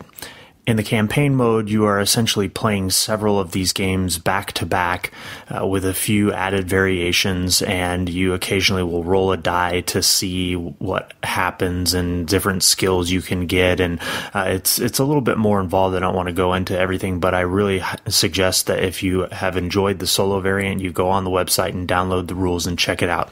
It's a lot of fun to play through. Now, there are four things that I like about the solitaire variant in Imperial Settlers. First, it's extremely fast to play. I can usually get through a non campaign play in about 20 minutes.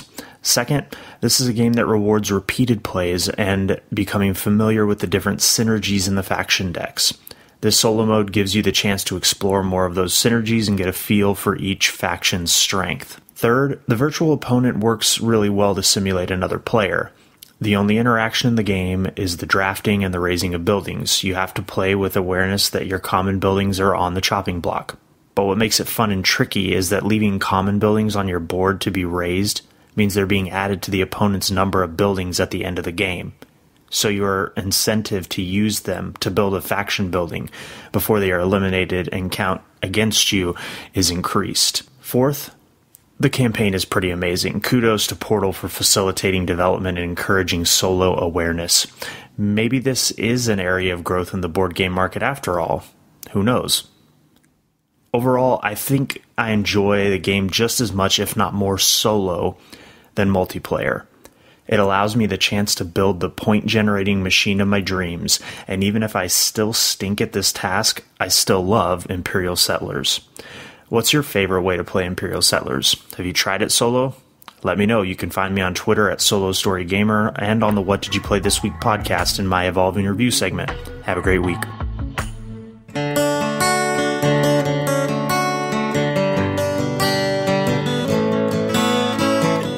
And now it's time for bonus action musings, stories, gripes, and theories with Mike Rudman. Last time I talked about how I first discovered board games as a more manageable alternative to the role-playing games of my youth. But when the 5th edition of D&D was published, I read so many good things about it that my interest was piqued, and I decided I would find some willing players and give the game a try again after 25 years. Well, I will cut to the chase. Disaster is probably too strong a word, so I'll just go with major disappointment. It was not fun. Now, to be fair, it's not the game's fault. The player's manual was a joy to read. If you've ever played D&D or are even remotely interested in it, I recommend you check it out, even if you don't even plan on playing the game. It's that good. So, what went wrong? Well, I think it boils down to three main points. Number one, it felt like work. Even with the streamlined, intuitive rule set, it felt like work, and it wasn't very fun. The first combat between the party and a group of five or six goblins should have been a quick affair, but it took an eternity. Now I know what you're saying. Dude, you guys were essentially playing D&D for the first time. Give yourselves a break. It takes time to get into a groove. Yeah, maybe so, but I don't have the time or the desire to devote multiple sessions to get to the point where the game will run smoothly. I'd rather just set up a board game and know that I'll have fun the very first time. So lesson learned number 1. Don't play RPGs unless you're willing to devote significant time to getting good at playing RPGs. They are different than what we're used to. Number two, the idea of the open ended world of the RPG is enticing, but I quickly realized that I have come to rely upon the confines of the tight, elegant board game rule set. I like knowing exactly what actions are available and trying to optimize using those actions. I like real rules. In theory, it is fascinating that in D&D the party could make a decision that is completely unexpected, and as the DM, you have to figure out a way to go with it. In practice, this completely exasperated me. Right off the bat, this first level party decides to split into two groups and head in different directions. And even the least experienced RPG player alive knows that you don't split up the first level party. I kind of wanted to just wipe everyone out like Noah's Ark and start from scratch. But I'm not supposed to do that. I'm supposed to be creative and spontaneous and make the game fun for the players. But again, it felt like work and it wasn't fun. So lesson learned number 2, if you're going to try D&D, you have to be willing to step outside your normal board game comfort zone and think of rules as suggestions rather than well, rules. Number three, and probably the most important point, you have to carefully screen the group you're about to start a campaign with. Because if there's someone in the group that's not truly on board, it will be a huge fun killer.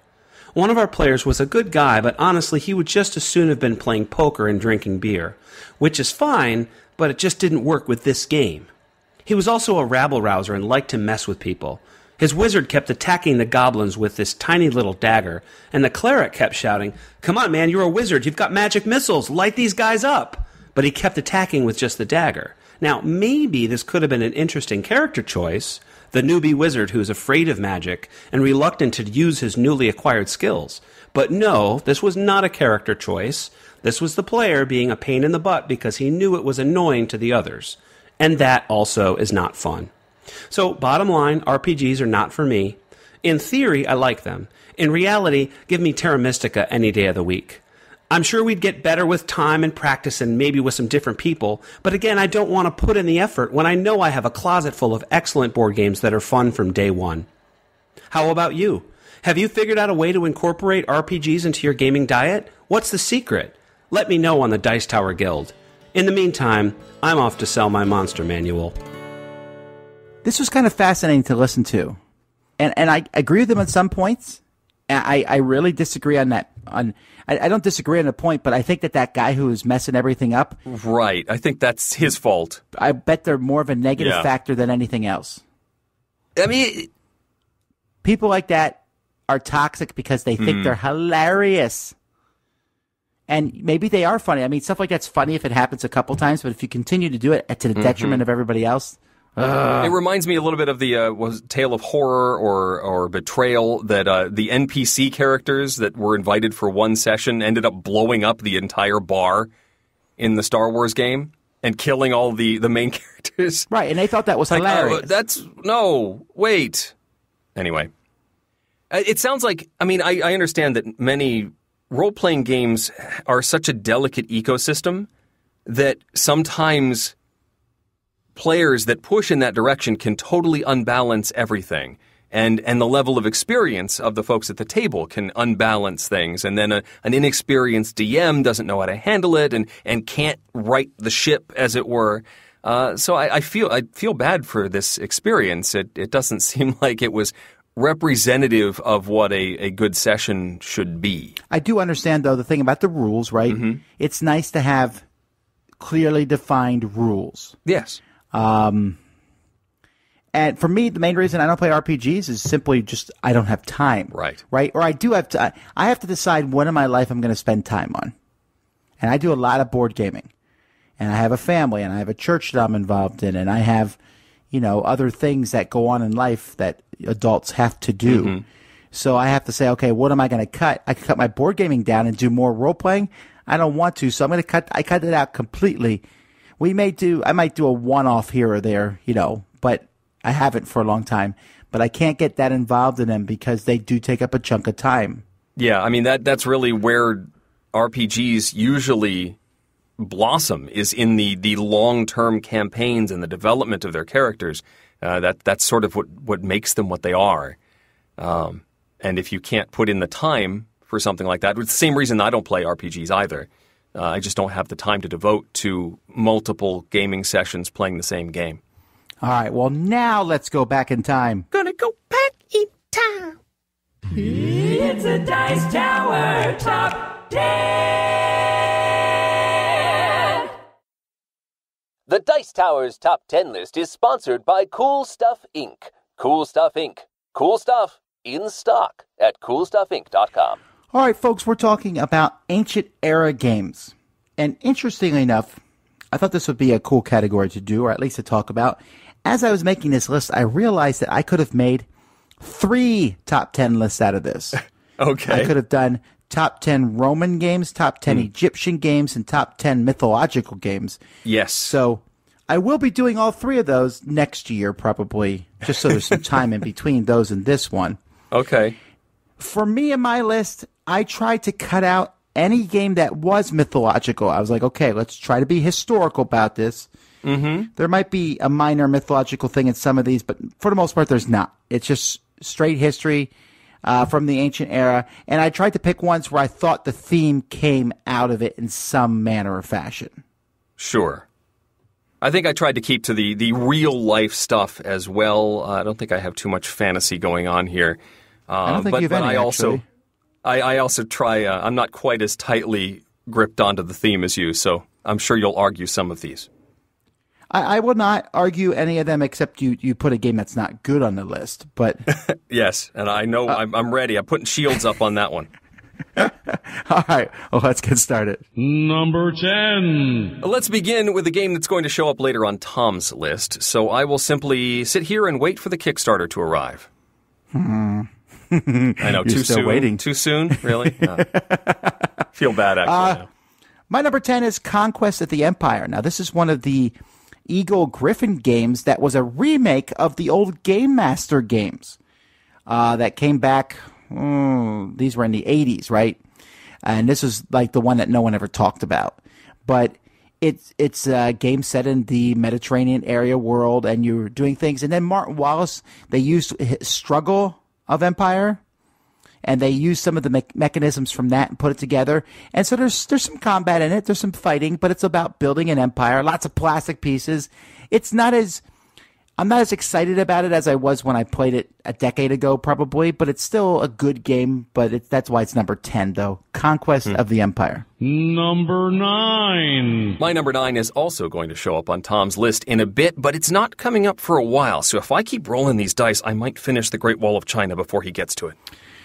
My number nine is also higher on Eric's list, and I was doing fine. And then halfway through me talking, he decided he was going to take over everything I did. So I will be entering his weaving hut briefly. nice Joe Gola reference. Number 8. All right, now I get to talk about something, and that something is Ra. This is the Rhino Rah rah Knizia shishkamba.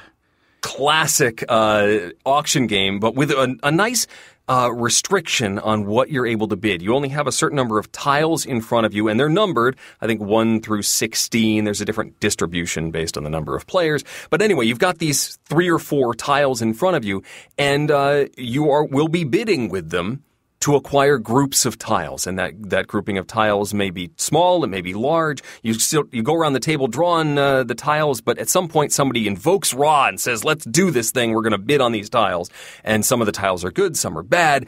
The each collection uh, is is wacky, uh, but you're also collecting like wonders and fields and, and trying to sort of create a little civilization. It's abstracted for sure. Uh, but it is a, a classic of the auction genre, a good bit of fun. Ra, my number eight. So, have you seen the new version of it? I have not. Uh, it just it just came out this week. Um, it's from Fantasy Flight, or well, I'm sorry, not Fantasy Flight, whatever Yeah, that is new Wind, Wind Rider. Wind Rider, right? Um, yeah, it's it's uh it's nicer in some ways and not as nice in others. Like the different bidding tiles are now nice big cardboard counters rather than the wooden pieces they were. Okay. But Ra is a plastic figure now. That's kind of cool. The the tiles Okay. themselves look a little nicer. Like I said, it's kind of a mix. But either way, the game is still out. You can still get it. Huzzah! Nice. My number eight is Cleopatra and the Society of Architects, which was made by somebody who was like, hey, let's make a dollhouse and then a game around it. it's not that much, but in this game, I mean, the box literally was like, are you kidding me? You get obelisks and sphinxes and all these things, and they're all plastic, and you put them all on top of a box, and it's great and it's beautiful. Essentially, they could have replaced all that stuff with tiles. The 3D thing doesn't mean much at all, but the game is p- pretty good. It's where you're trying to uh, collect cards, and you could do a little bit of corruption, but if you have too much corruption at the end of the game, you lose no matter how well you've done over the course of the game. And as the game progresses, you are building this nice big tomb area. I, it looks great, and I, that Egyptian flavor theme comes out pretty strongly. Cleopatra and the Society of Architects. You know, this it's funny. This, this is one of those games that I, I have heard a lot about, but I don't think I could tell you what it looks like in any way. If I I walk right past it and not know that that's what I was looking at, it's it's weird. This is a, like a black hole in my gaming knowledge. Number seven. Number seven for me is Egizia. Uh, It's a, uh, a a game about a river. It's like a big action selection track, and at the time this was very novel. Um, it- it's been this mechanism's been used in many things since then, but uh, you could move as far down the river as you wanted, but then you can't go back up the river. And you're you're trying to uh, there's a lot of area control in building different structures, and you're you're trying to uh, um, get you know different point scoring cards and, and trying to get the low hanging fruit, the really cool cards. But you also want to get as many actions as possible. And if you jump too far down the river, then your uh, opponents can just grab almost every card. Uh, that they that they want uh, behind you while you're you're waiting to go again. A neat game, uh, my number seven. I still have not played this one. Ah, you can play it online, but I know that's not something you care about. My number seven was already mentioned by the solo game corner, and that was Imperial Settlers. Now, to be fair, Imperial Settlers does have a expansion that adds the Atlanteans, but the basic game is Romans, barbarians, Egyptians, and Japanese, all ancient era. Mm-hmm. And it's about resource collection and building the buildings, and it's a little bit almost like a a cutesy ancient era game. But Yeah. the gameplay itself is very solid. A nice reworking of the 51st state style mechanisms. And it's obviously doing very well because people still play this quite a bit today. Imperial Settlers. Uh, I need to play this one some more. I've only played the one time, and I just wasn't sure where it would fit in my. I, I got it shortlisted, but I just couldn't really fit it into my structure.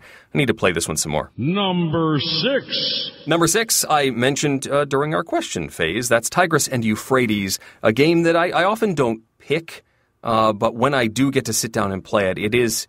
It's a really interesting one, and still one that I, I have trouble grokking. Uh, you know, after a certain amount of time away, it's a tile laying game. A uh, it's a civilization, but uh, it's also very abstracted. You're collecting cubes from various leaders uh, and and trying to get an even enough score that your lowest scoring cubes, the, the one you have the fewest of, uh, is is your ultimate score. It is, I think, the game that that brought up the Knizia scoring that we talk about.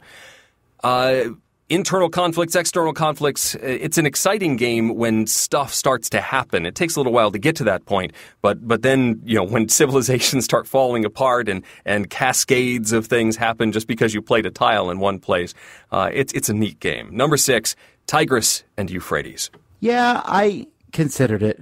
My number six is Colosseum, which I talk about a lot because it's a great game. It's coming from Tasty Minstrel, re- being reprinted by them. The original one from Days of Wonder, though, about putting on a show in ancient Rome, trying to get people to come see your show, having season tickets, having fantastic actors and lions. It's a trading game, beautiful components. It's fun. It works with five players really well. I like it. And if you ever want to see the weirdest version of this game possible, watch us play it at two in the morning. Yep. Where for some reason I said, I forget why I said it, but I was like, you guys need to describe your shows that you're putting on. And they did so Oh yeah. in very odd forms. it's kind of a surreal thing to watch. Yeah, I, I, I think I don't think I've gone back to watch that. Um, I enjoy this as one as well. Uh, this was shortlisted for me, but the only time I played it is is that very game session at two in the morning. Uh, again, I, I couldn't really place it amongst the others, but it was on the short list. That's Colosseum. Number five. Number five is Valley of the Kings, which is AEG's Egyptian themed deck builder. I've mentioned it many times. I won't go into detail here, but I, I really enjoy this one. The pyramid structure of getting the cards, having to bury them in your tomb, uh, but that takes them out of your deck, even though they're really cool cards. It's set collection as well as deck building. Really neat, fun game. Valley of the Kings, my number five. My number five is Deus. Deus is a game that doesn't look like that much. When they first showed it to us, I was like, oh, it's a prototype. then when we saw the final product, I was like, It's oh, that wasn't a prototype. Because it looks like they took a bunch of the houses and stuff. But in this game, you are building lands in ancient times and you are adding different combos of cards that lets you, you know, wh- when you play a card here, you get to add another card. You're trying to build temples to the ancient gods and, and you're, and get points. And it's just the card combos as you play them. If you play a card, you can move a ship. And now if you play this card, I can do this action twice. I really enjoyed that one. This one really, really flew under the radar, but check it out. Deus.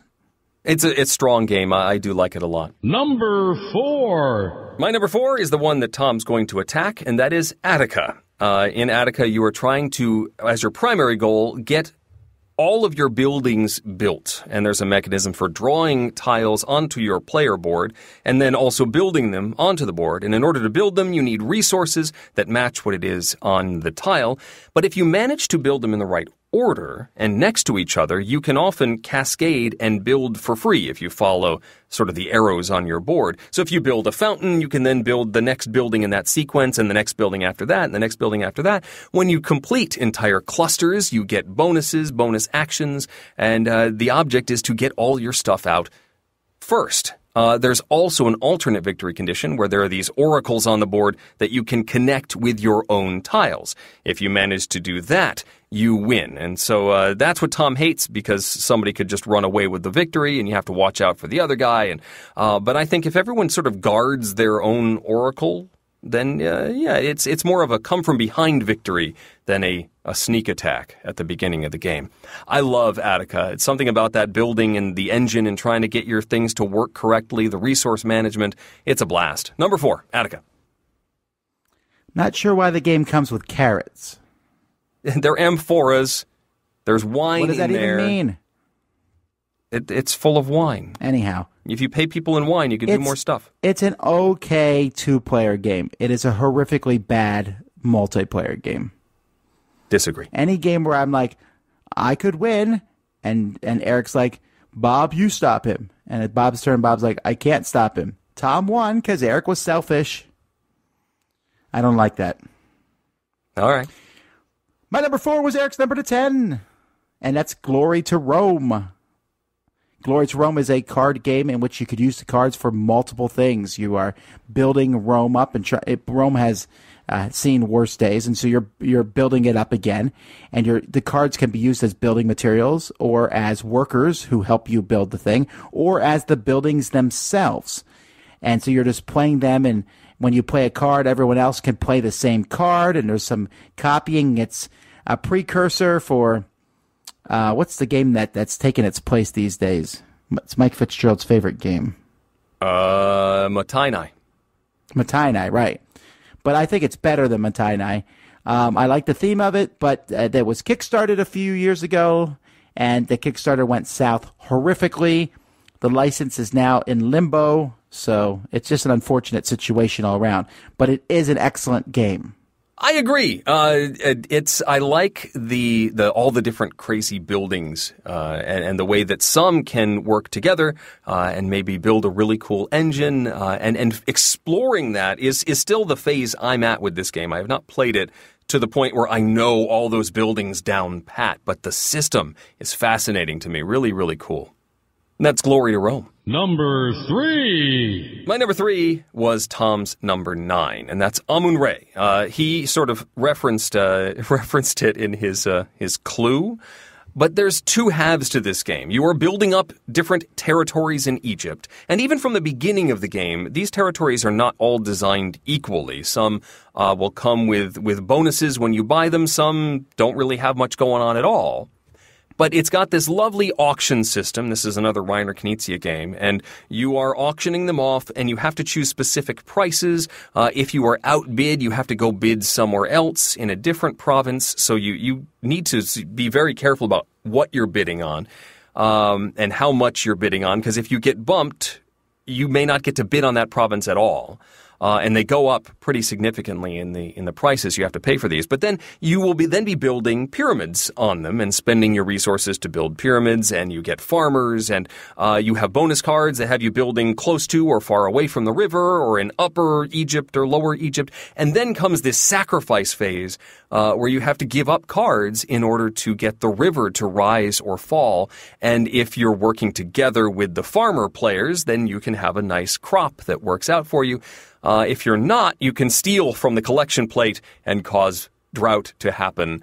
Um, but then the whole thing resets after half of the game, and you auction these same properties off. So you may build a whole bunch of pyramids on one province. That province isn't yours anymore after the halfway point, and now you've just made it really, really lucrative to someone to for someone to buy in the second half of the game. And that balancing act is fascinating. Very cool game.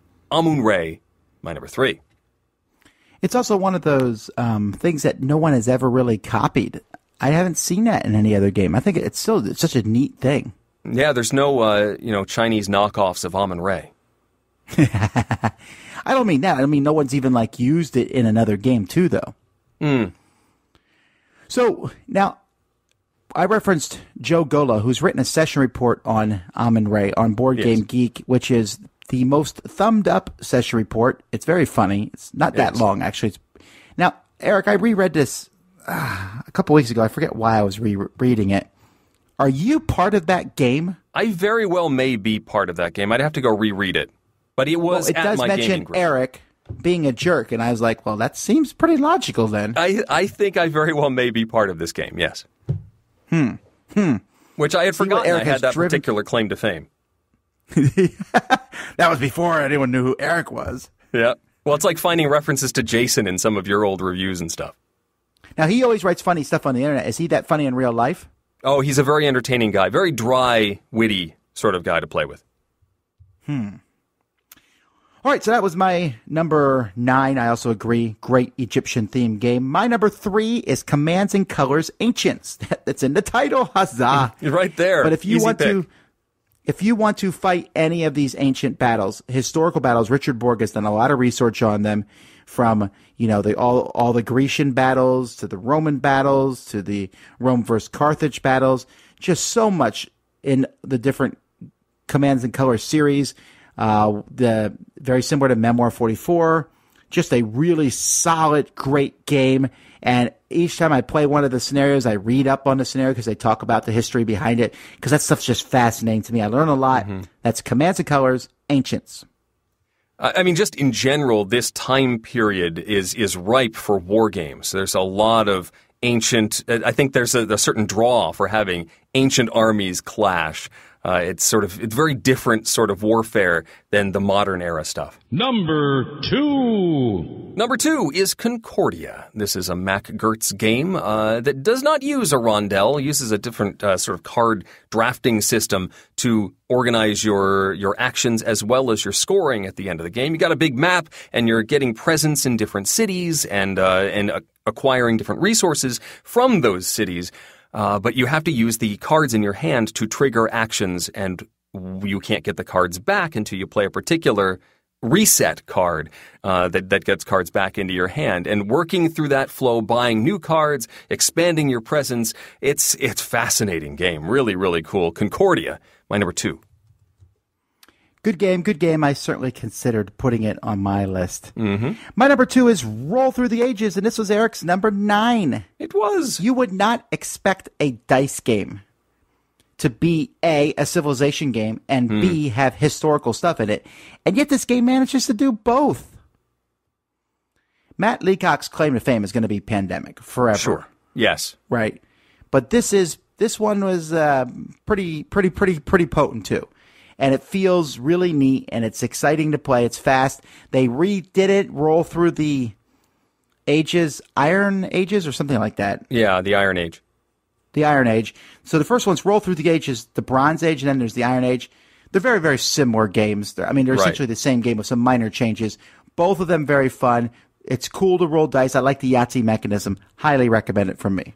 Yeah, I mean, it, it's simple. Uh, it has that Yahtzee mechanism, but it does feel like you're building stuff as you're ticking things, ticking boxes off of your score sheet. Uh, and there is a race, as I alluded to, to build some of these wonders. Uh, you know, if I'm building the Great Wall of China, do you start building it as well, hoping to finish it before I do? Or do you leave me alone on that one and go after a different wonder?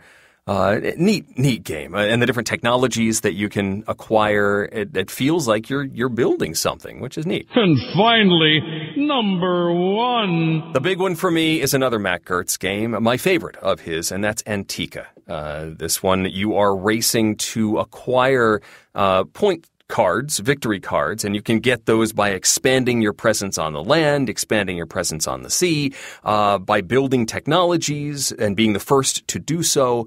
Uh, you can also destroy other people's temples, uh, and and all these different paths to acquire these points, and you do this through the rondel. And uh, you move your little piece around the rondel. You can only move from one to three spaces. You can collect resources from your places on the board, then use those resources to do stuff.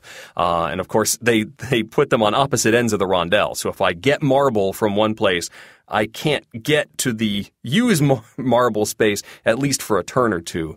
Um, so so other people have time to react. Really, I love the system. It's it's really uh, an interesting mini Civ building game.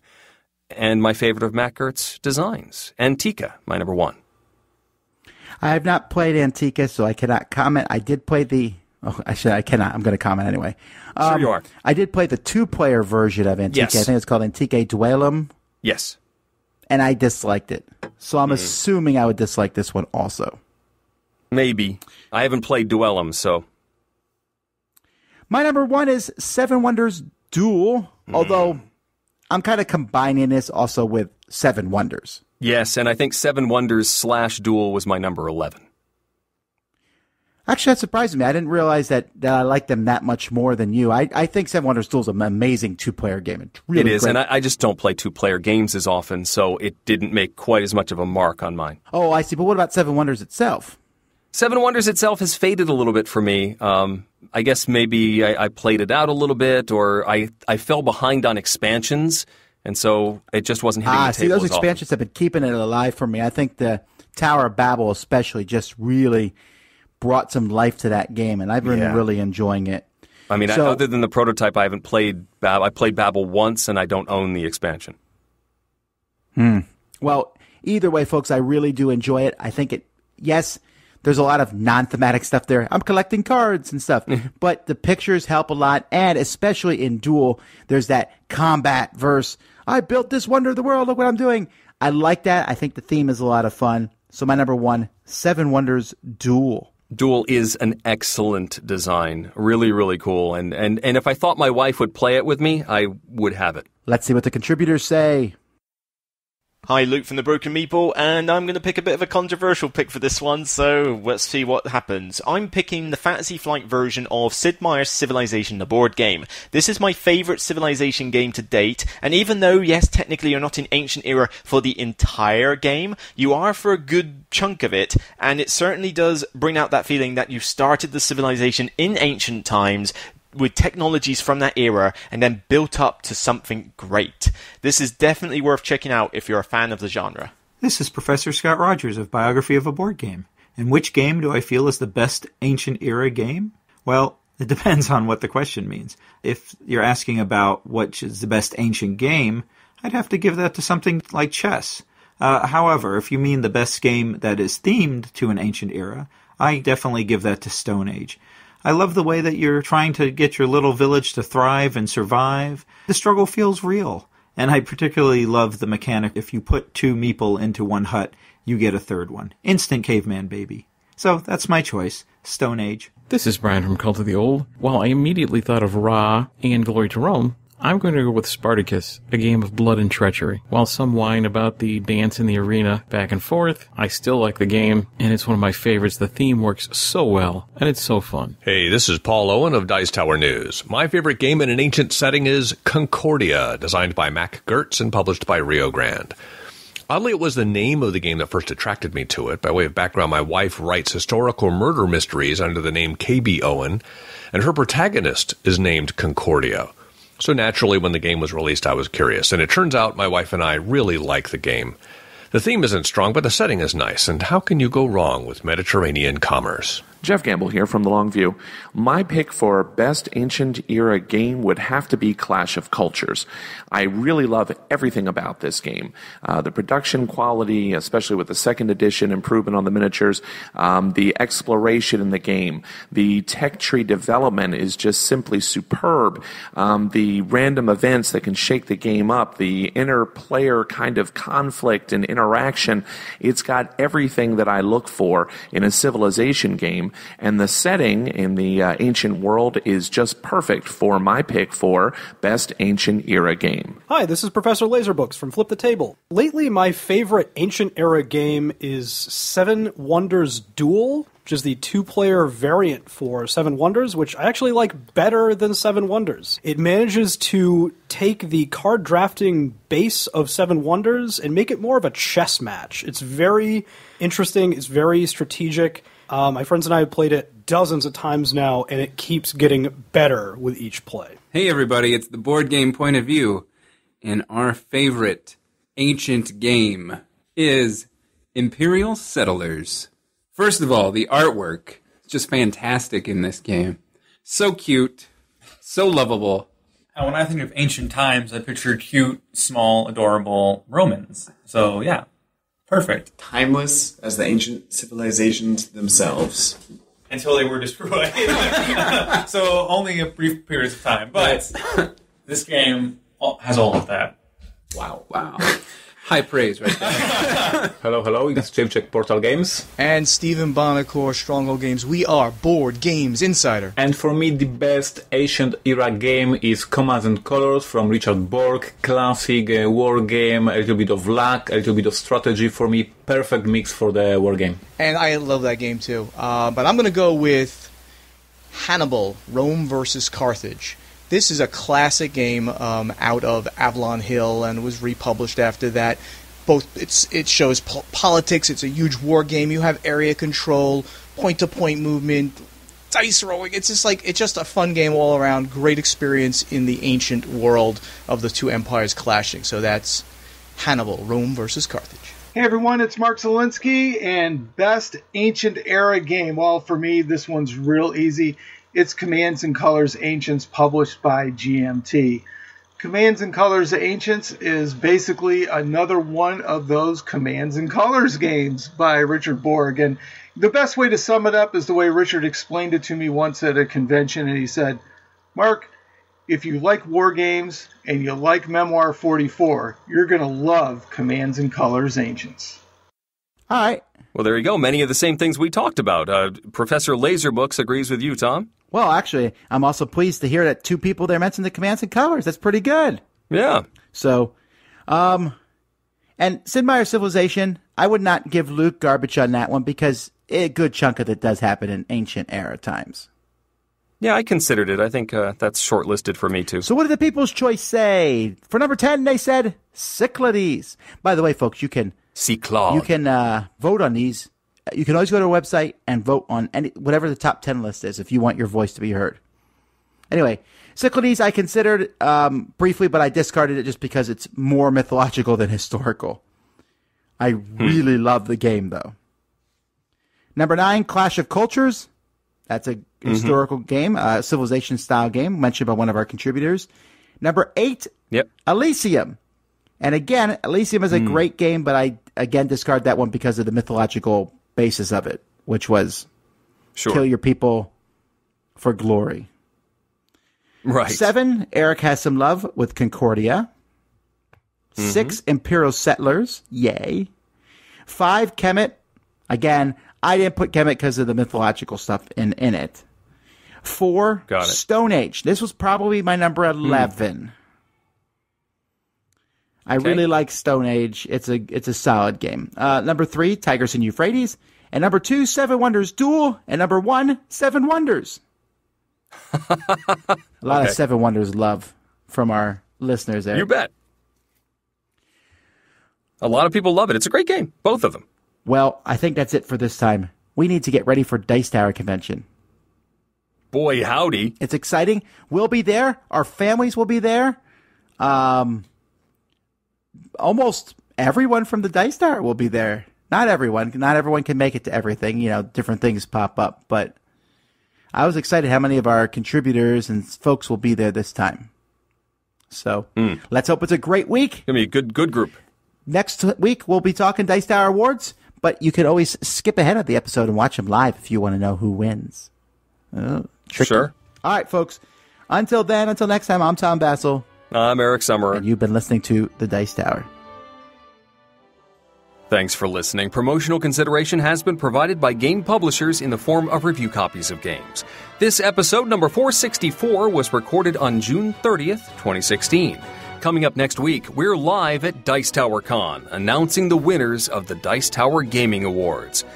This podcast is sponsored by listeners like you. Thank you for your continued support. And speaking of support, the Jack Vasel Memorial Fund is dedicated to providing support to members of the board gaming community in their hour of need.